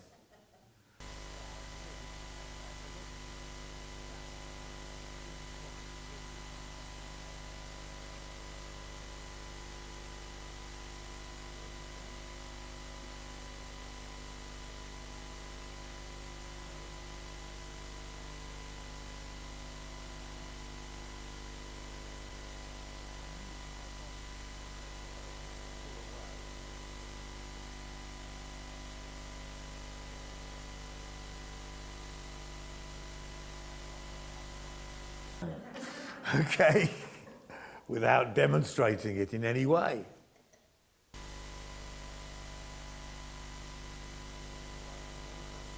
Holding my wife like that in public.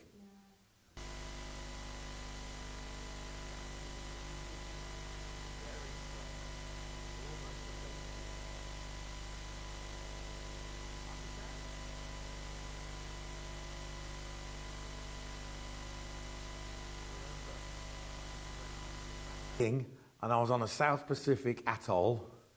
I was negotiating the first loan that that government ever had.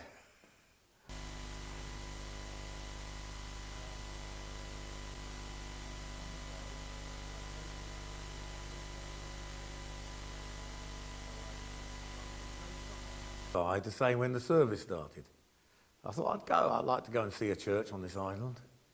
So I walked to the church and there was nobody there. So I, then the one guy, there was one guy there. I said, "What time does the service start?"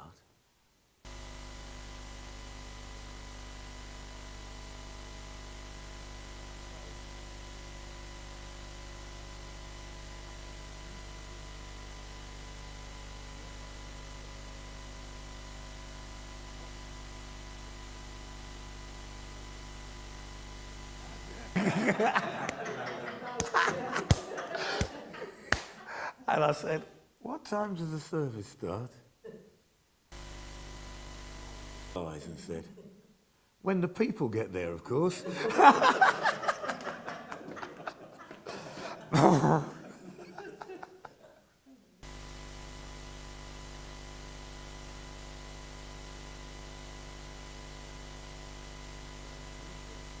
Mission context.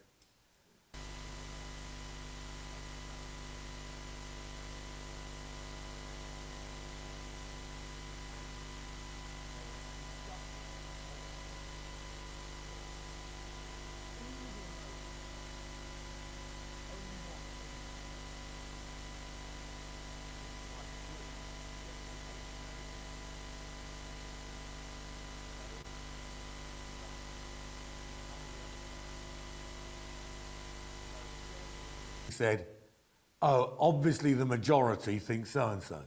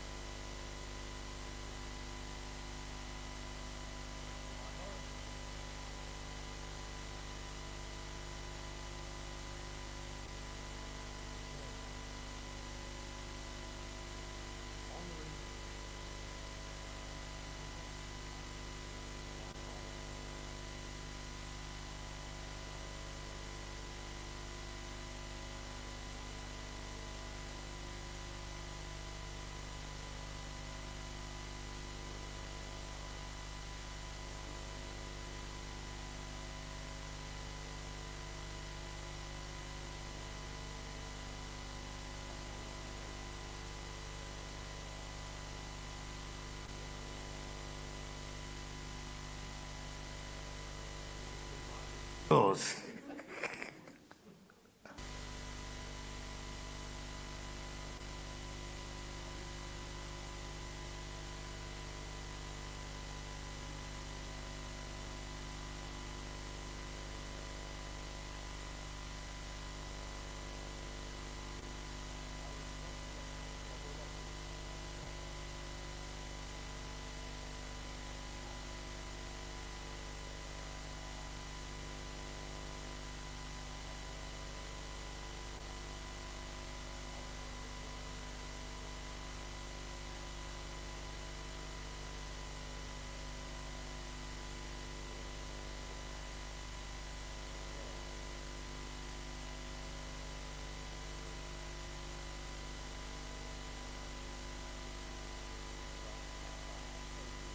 Because they set up an international church. It was a strange thing to do, but they did.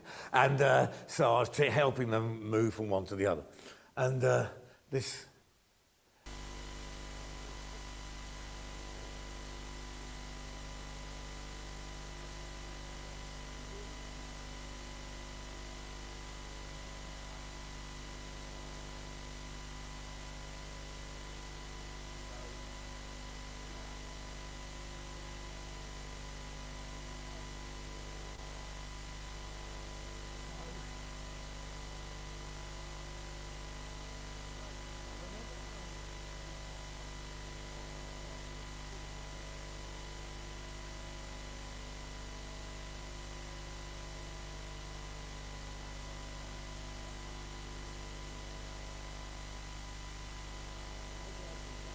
around. How can I shock these people into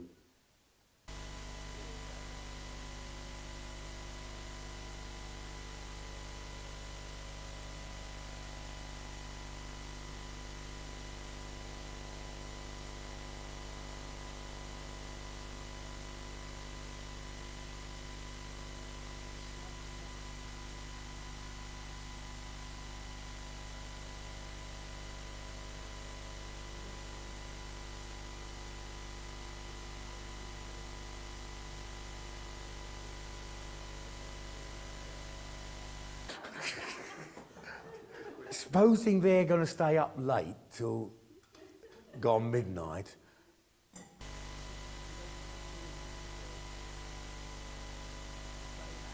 Would have been if they go to, and so the children go to bed later then. How do they work it out?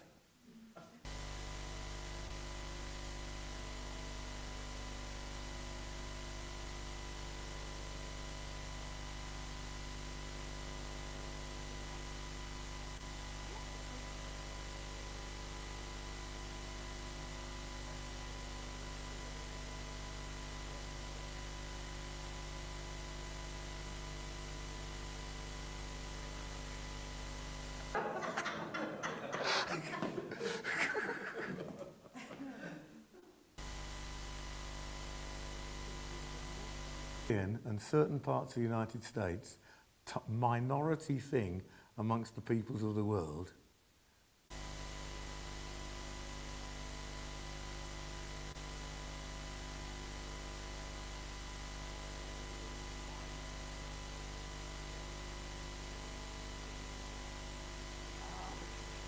and any other brother had an experience in the old days. And sometimes putting your children to bed at, on a certain time was almost was taught as if it was scripture. Where does it say so in the Bible? Anywhere? Reference to it is when they were in, my children are with me in bed. Well, they're all in bed, aren't they?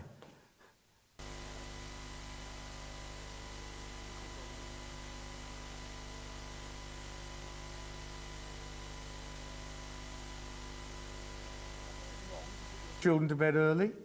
No. It's culture. Most of the world doesn't do that.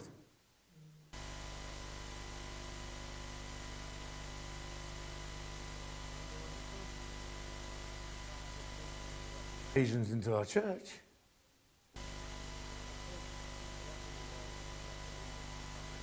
But they'd come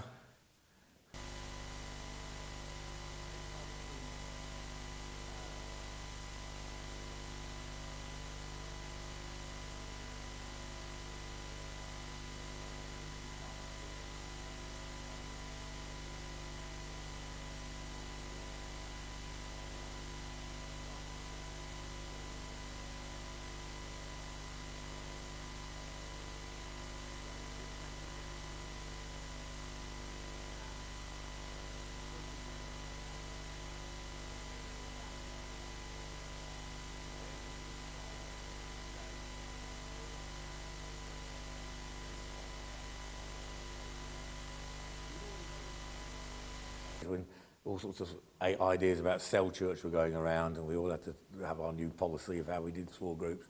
And uh, we decided we wouldn't have multi generational groups. I, you know, we made that decision as elders because that was one of the things that some people were advocating.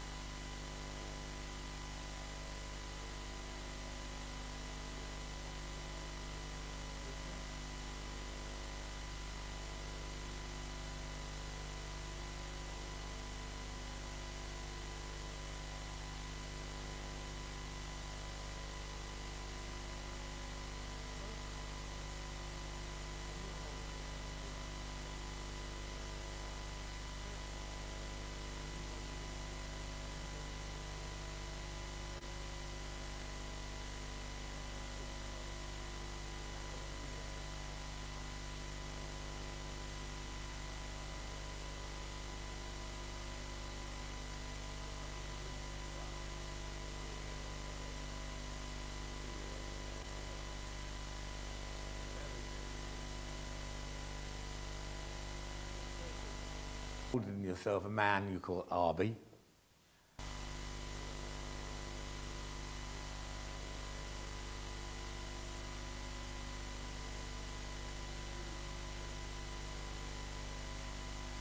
Let me tell this story. And if you're talking to an older lady, you say,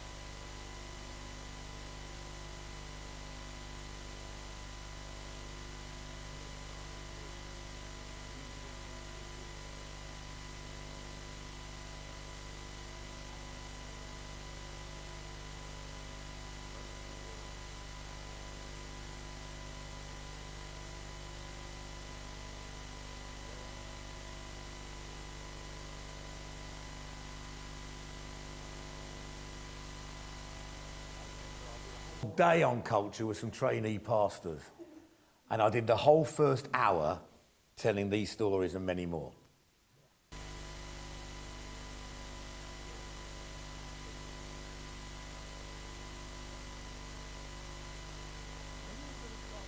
Us.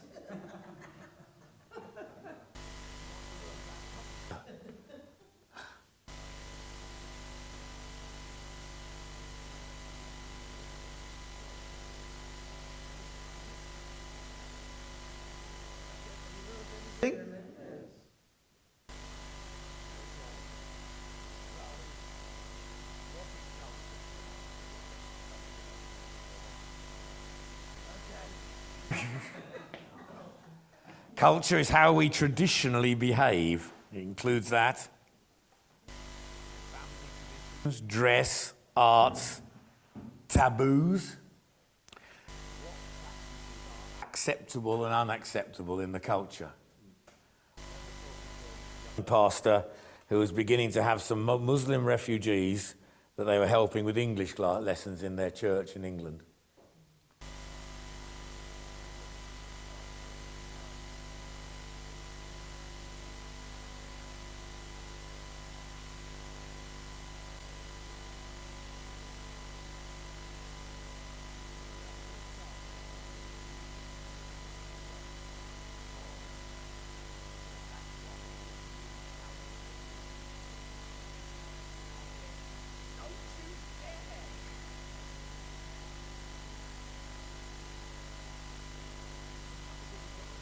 Story, it's because in the East, when you're talking to people, you go indirectly and you start with things that they are familiar with before you come to things that challenge their worldview. If I've known people in the East, time said Jesus must have been a wicked man.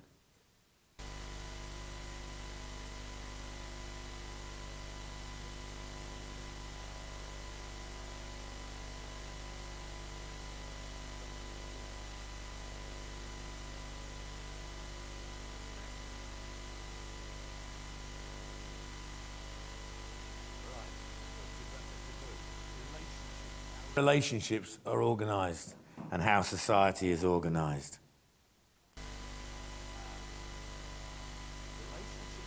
Culture and human beings, Charles Kraft said, is similar to the relationship between water and fish. And inextricably immersed in culture.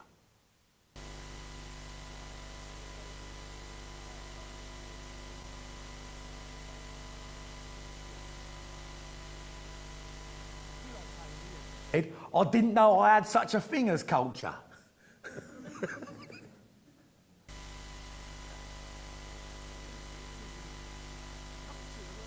Bad.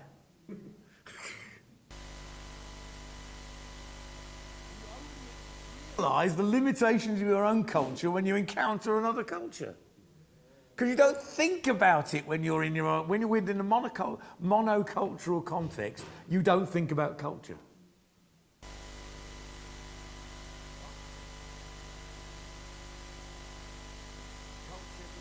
Mind as the way of life of a particular society include its patterns of thought, beliefs, behavior, customs, traditions, rituals, dress, language, art, music, and literature.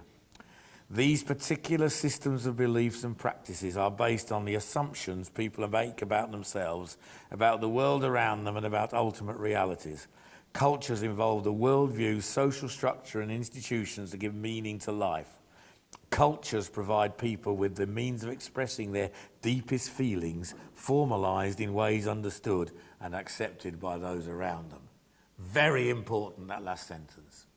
It is very hard to express feelings cross culturally.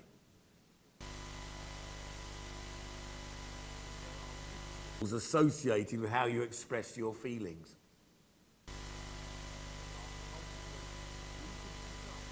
People in our own culture are feeling, can't we? You, well, some, some people can, some people are a bit insensitive. But we can generally pick up how people are feeling and reacting. Yes?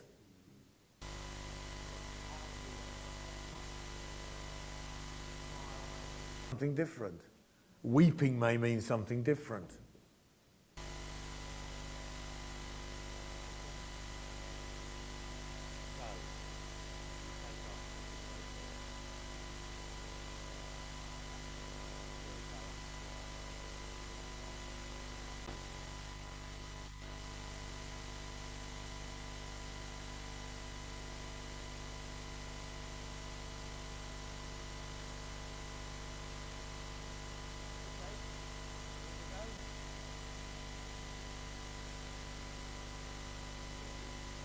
Uh,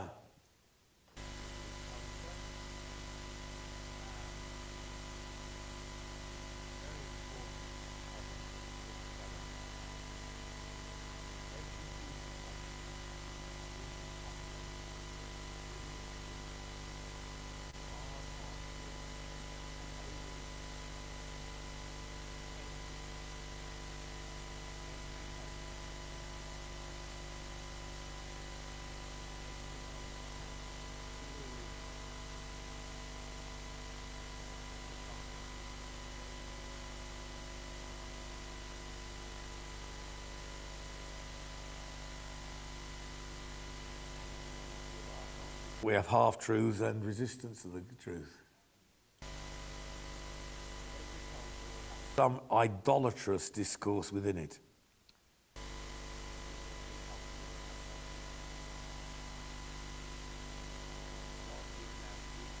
Wisdom, talent, beauty, and skill, completely without regard for merit.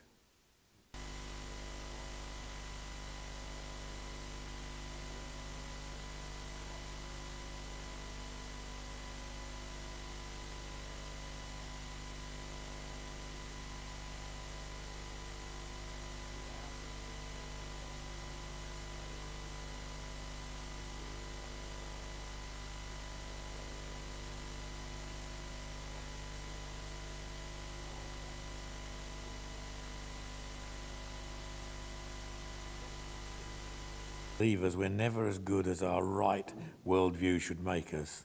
At the same time, the doctrine of our creation in the image of God and an understanding of common grace, that's grace shown to all, remind us that non believers are never as flawed as their false worldview should make them.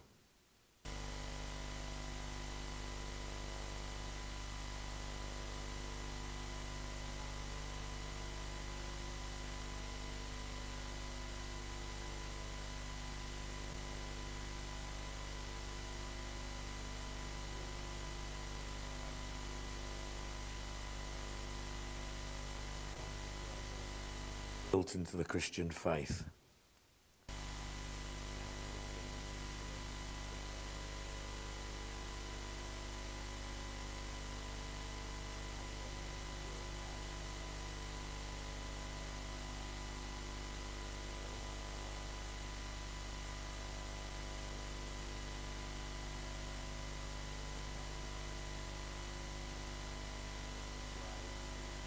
Culture which you can recognize from Pakistan to Tunisia to Morocco.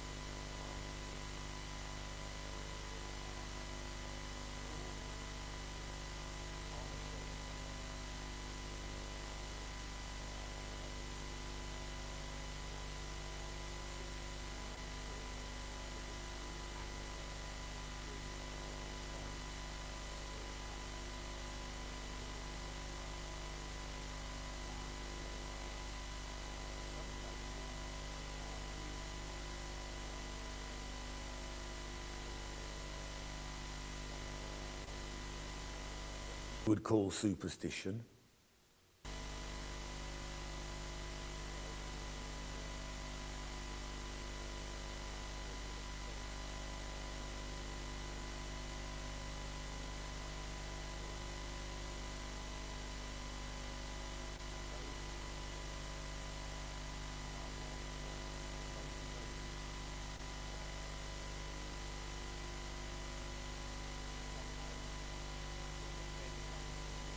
Otherwise.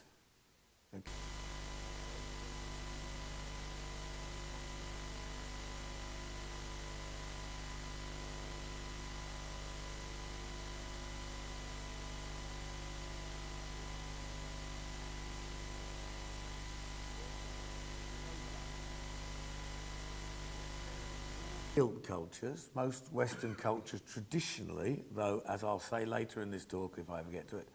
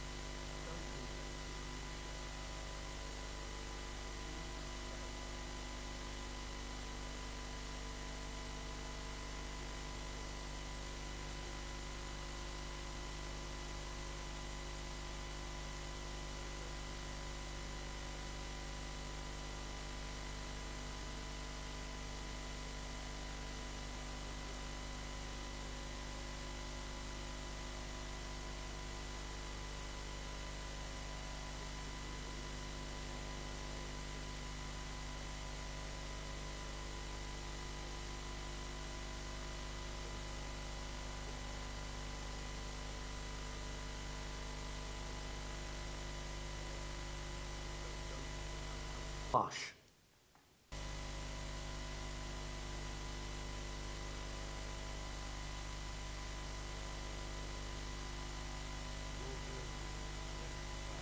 These the concepts of right and wrong, my rights, but also an individualistic approach to life and the gospel.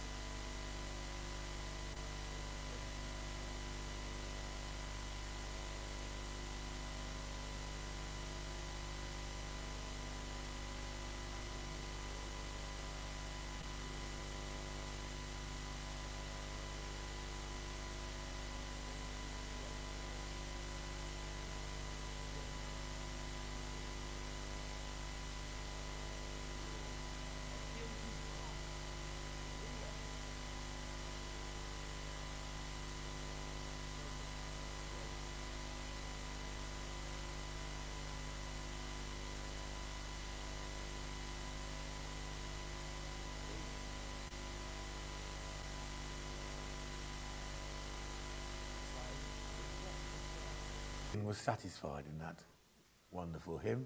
The wrath of God was satisfied. I believe that.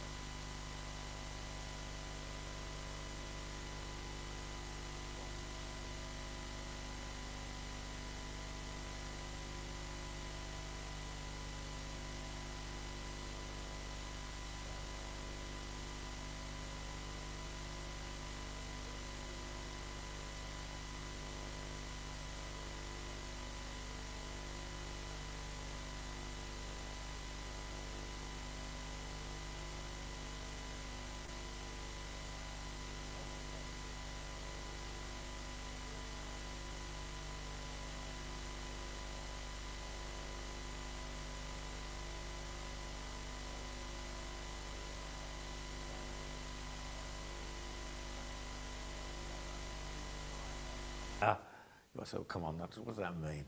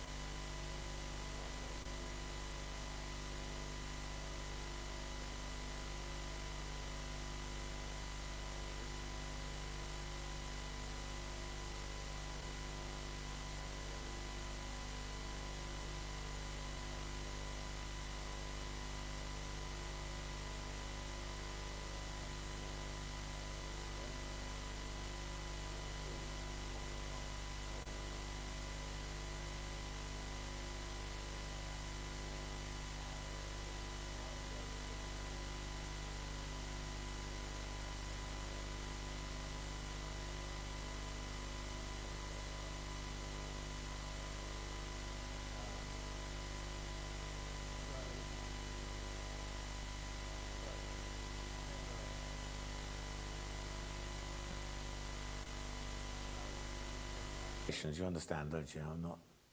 Hot climate cultures, relationship is the basis of everything. Cold climate, efficiency is the ruling value. Does it work?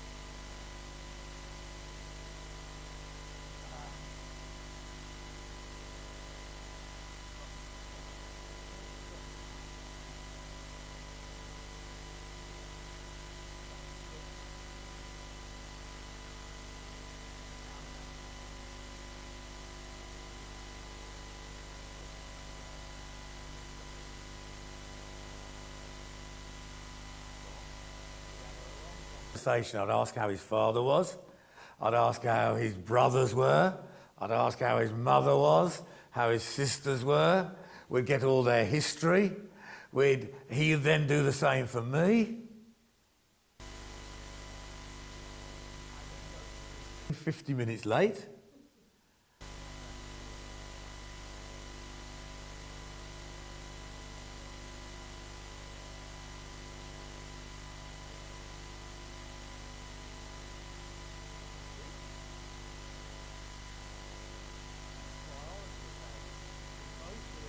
Relationship.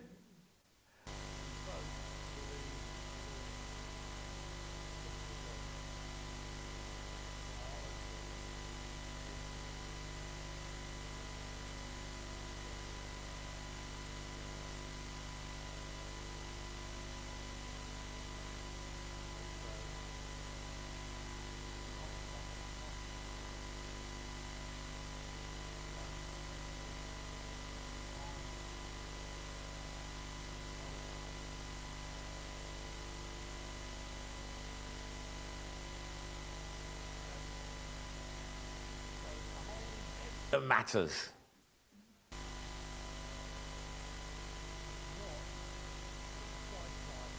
And finishes.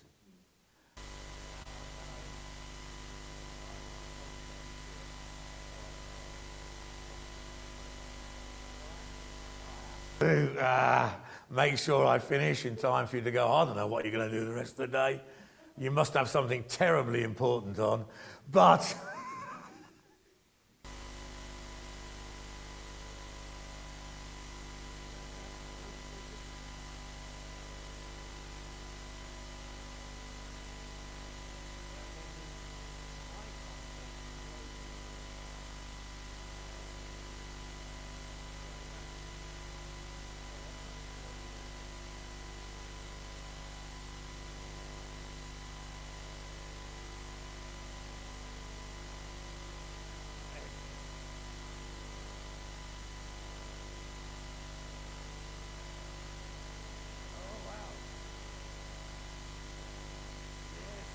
Dave doesn't think finishes, but if you need to go, just slip out. Yeah. Yeah.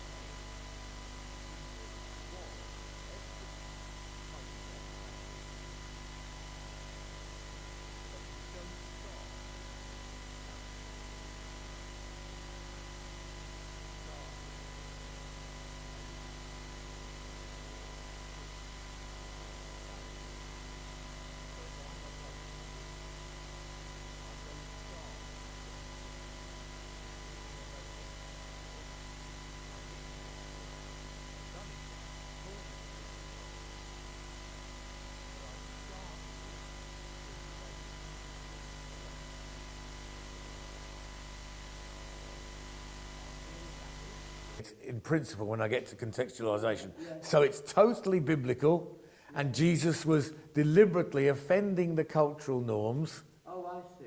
Yeah. Do you see? Yes. Because he was showing that this woman who was rejected by society is to be valued. Yes.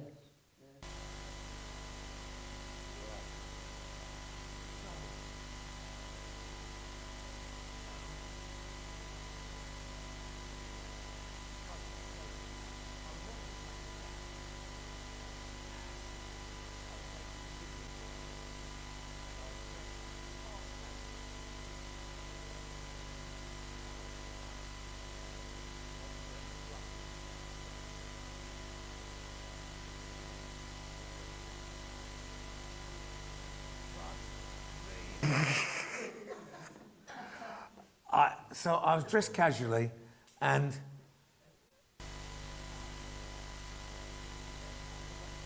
Bobby, where I was being picked up.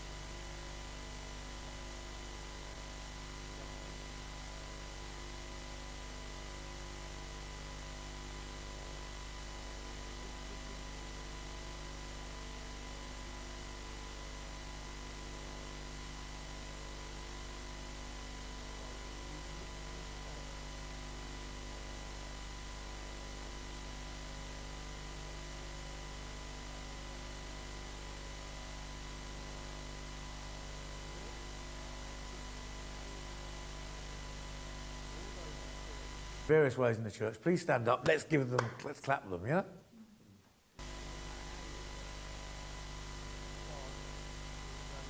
Context event in a Western context.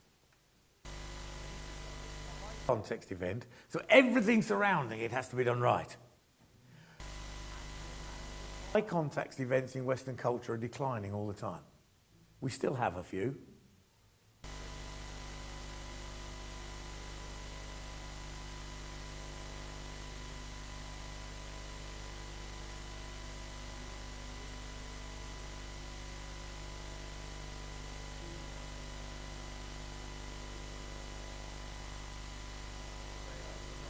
Our practice. We have high context events, whereas in other cultures, high context cultures, almost everything is a high context event. It depends on the context, how you dress.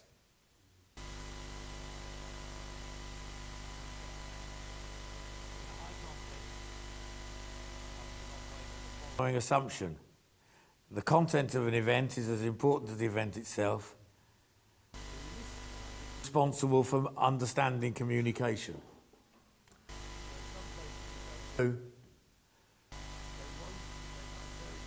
Ask you a question in the way that my friend just now did.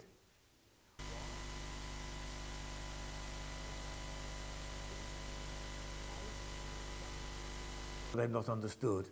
But B, it is not quite honouring because it's hinting that I haven't communicated very clearly.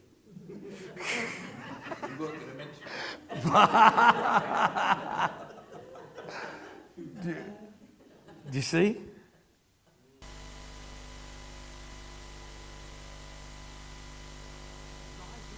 Holistically.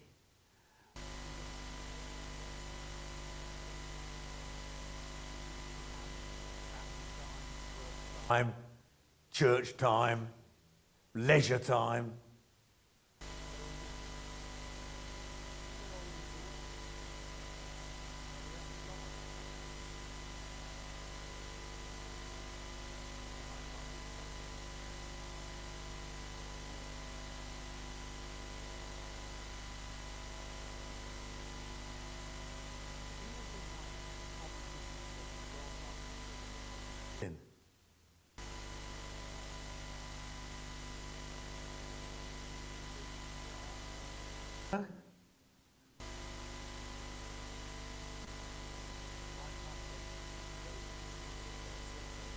Who they are and what they do categories. That type of analytical compartmentalized thinking is low context culture.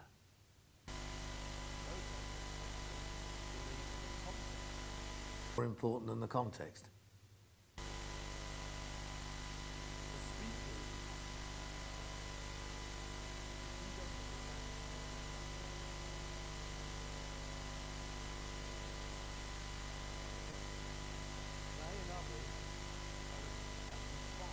Their recent achievements rather than by their inner worth.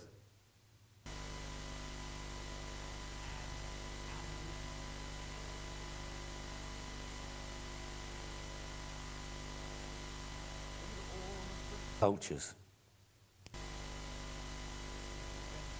There's those who learn best by story or those who learn best by principles and concepts and writing things down.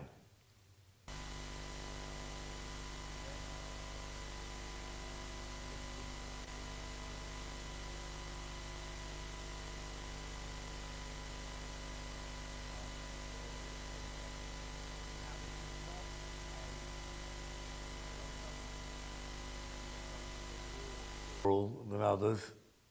Even in Western culture, probably 70% of us are oral learners, not conceptual learners.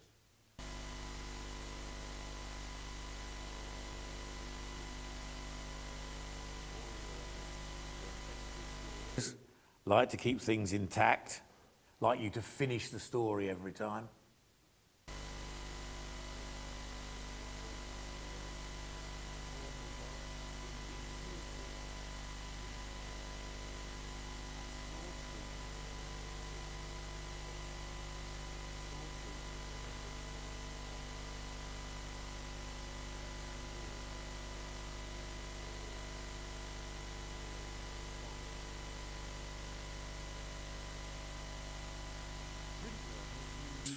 Lose lists of points, principles, and steps.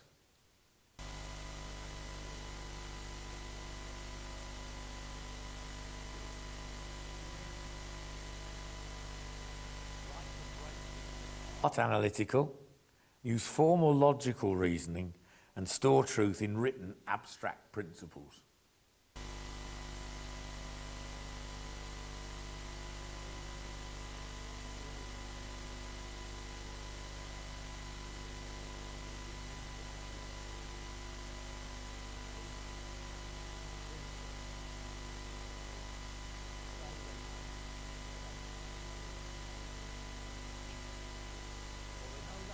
Wrote it down in their notes somewhere so they'll go and get it.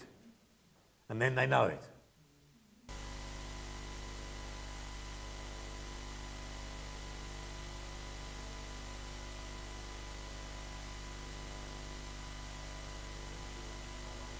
Recipes.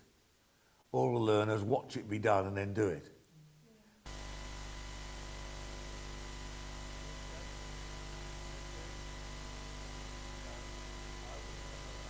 Teaching, and if any of you teach, remember this 70% of my congregation learn through stories.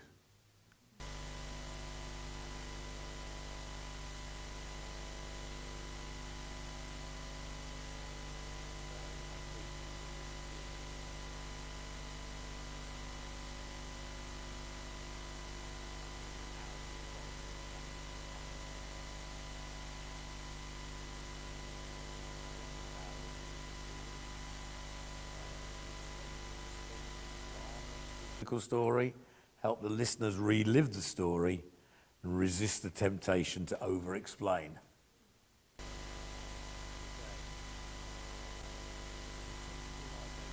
I'll just run on to that quickly.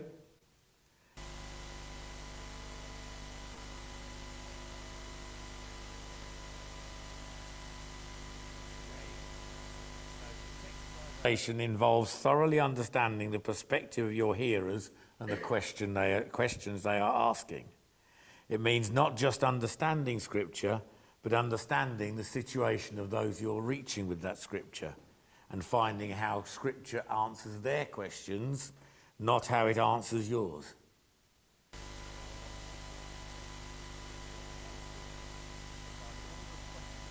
Good theological answers to, and not the questions the people they're talking to are asking.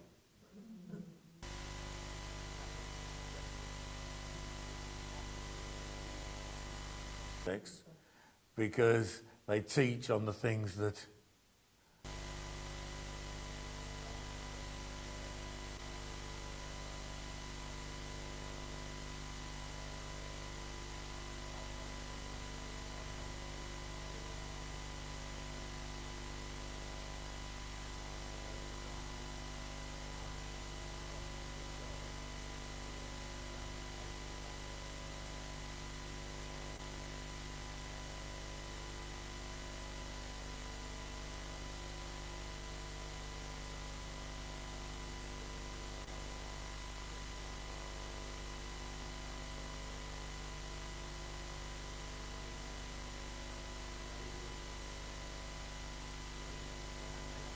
interpret sovereignty as fatalism.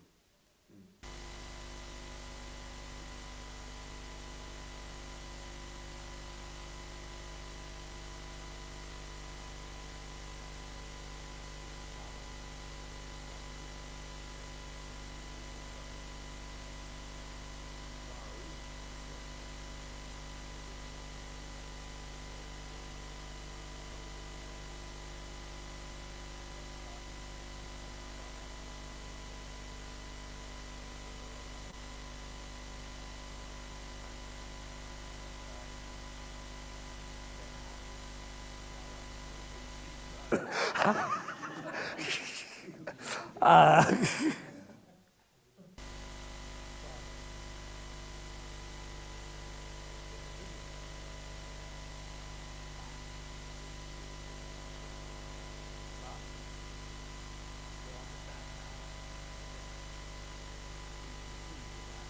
So God is, God's sovereignty is not a disputed thing.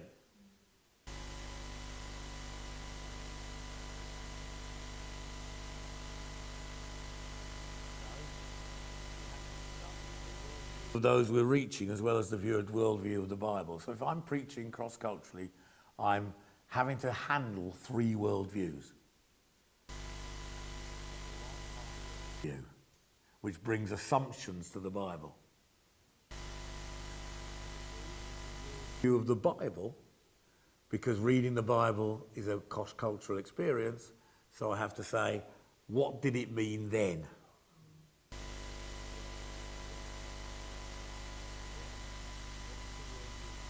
Teaching and how do I explain that into their worldview?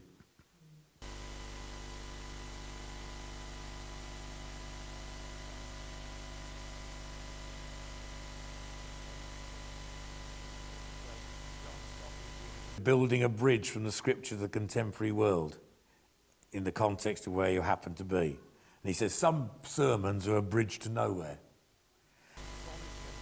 Exposition, but they don't land on the other side. Nowhere, reflecting on contemporary issues, but not insights not grounded in the Word of God.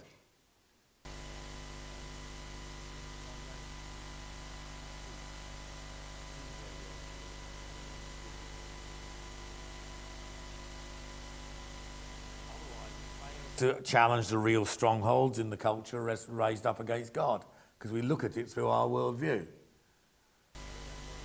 was taught, God used to do stronghold seminars across the world, and I remember first teaching on my teaching on strongholds in an American context.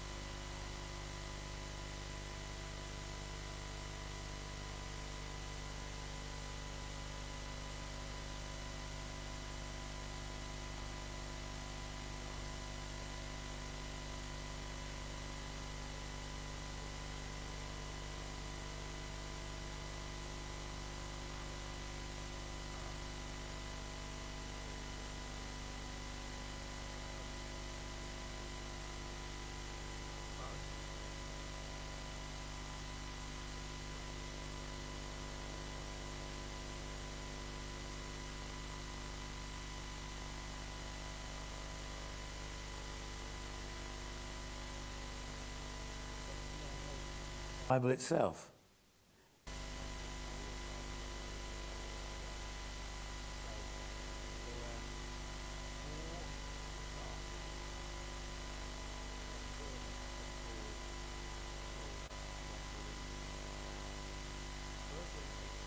Believing Jews, how did he preach? He said, he gave a summarized version of the Old Testament reinterpreted in the light of Christ.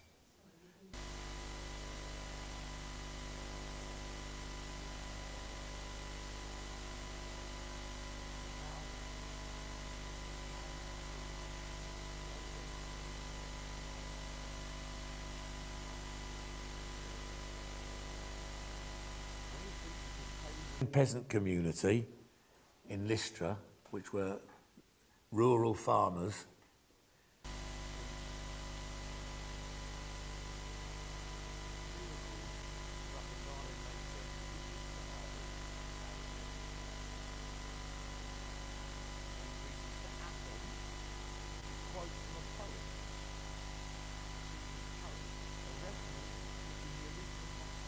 to Zeus, the chief god. And he applies that to our God.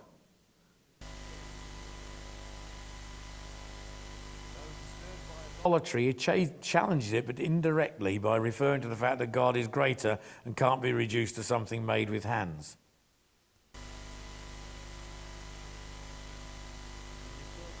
Favourite heritage stories when an unknown God saved them from a plague. Athenian poets and Athenian heritage stories and says these are fulfilled in Christ.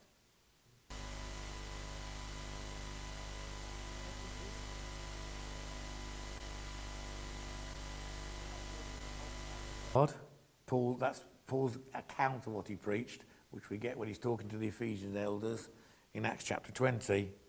But also, though he described the whole plan of God, though he dealt with idolatry, though he set many free from demons in most remarkable ways, though he did work in such a way that people stopped buying models of the goddess from the shops.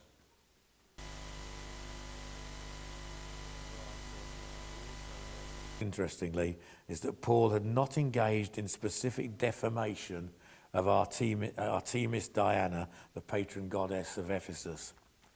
This is not even a claim Paul makes for himself, but is stated in his defence by the city clerk to pacify the riot fomented against Paul and his friends.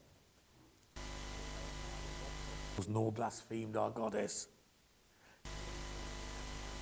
Was uncompromisingly effective, but not calculatingly offensive.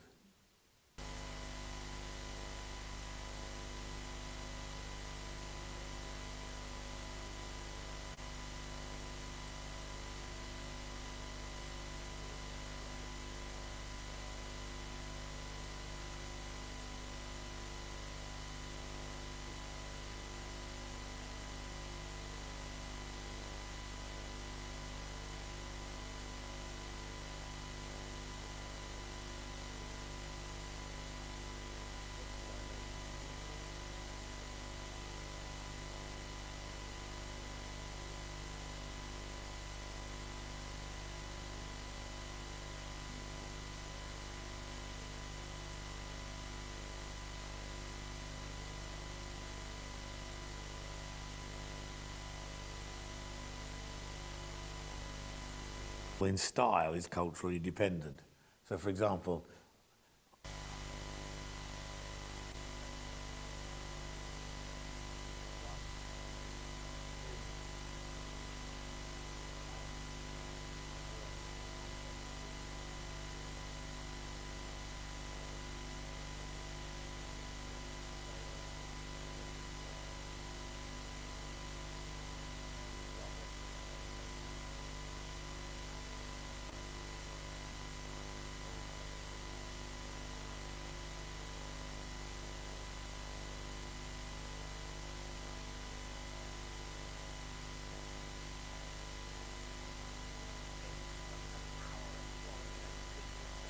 to see.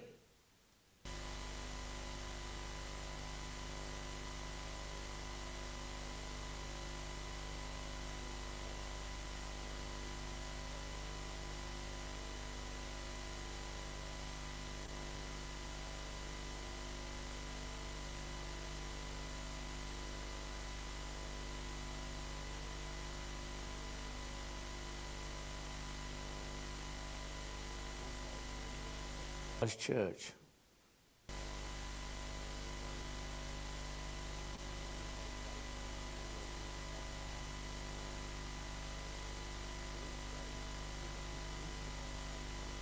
People from Africa and other anxiety security cultures, but also for postmoderns or for millennials anyway, law guilt is not as strong as it was. And there certainly is less of a concept of sin. Anyone notice that?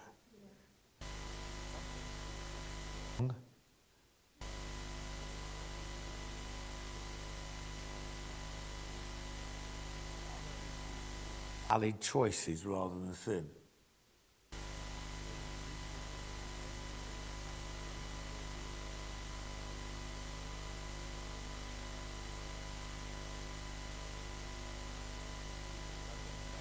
Anymore in the sense of actions and doing wrong, because there are, are far worse people out there.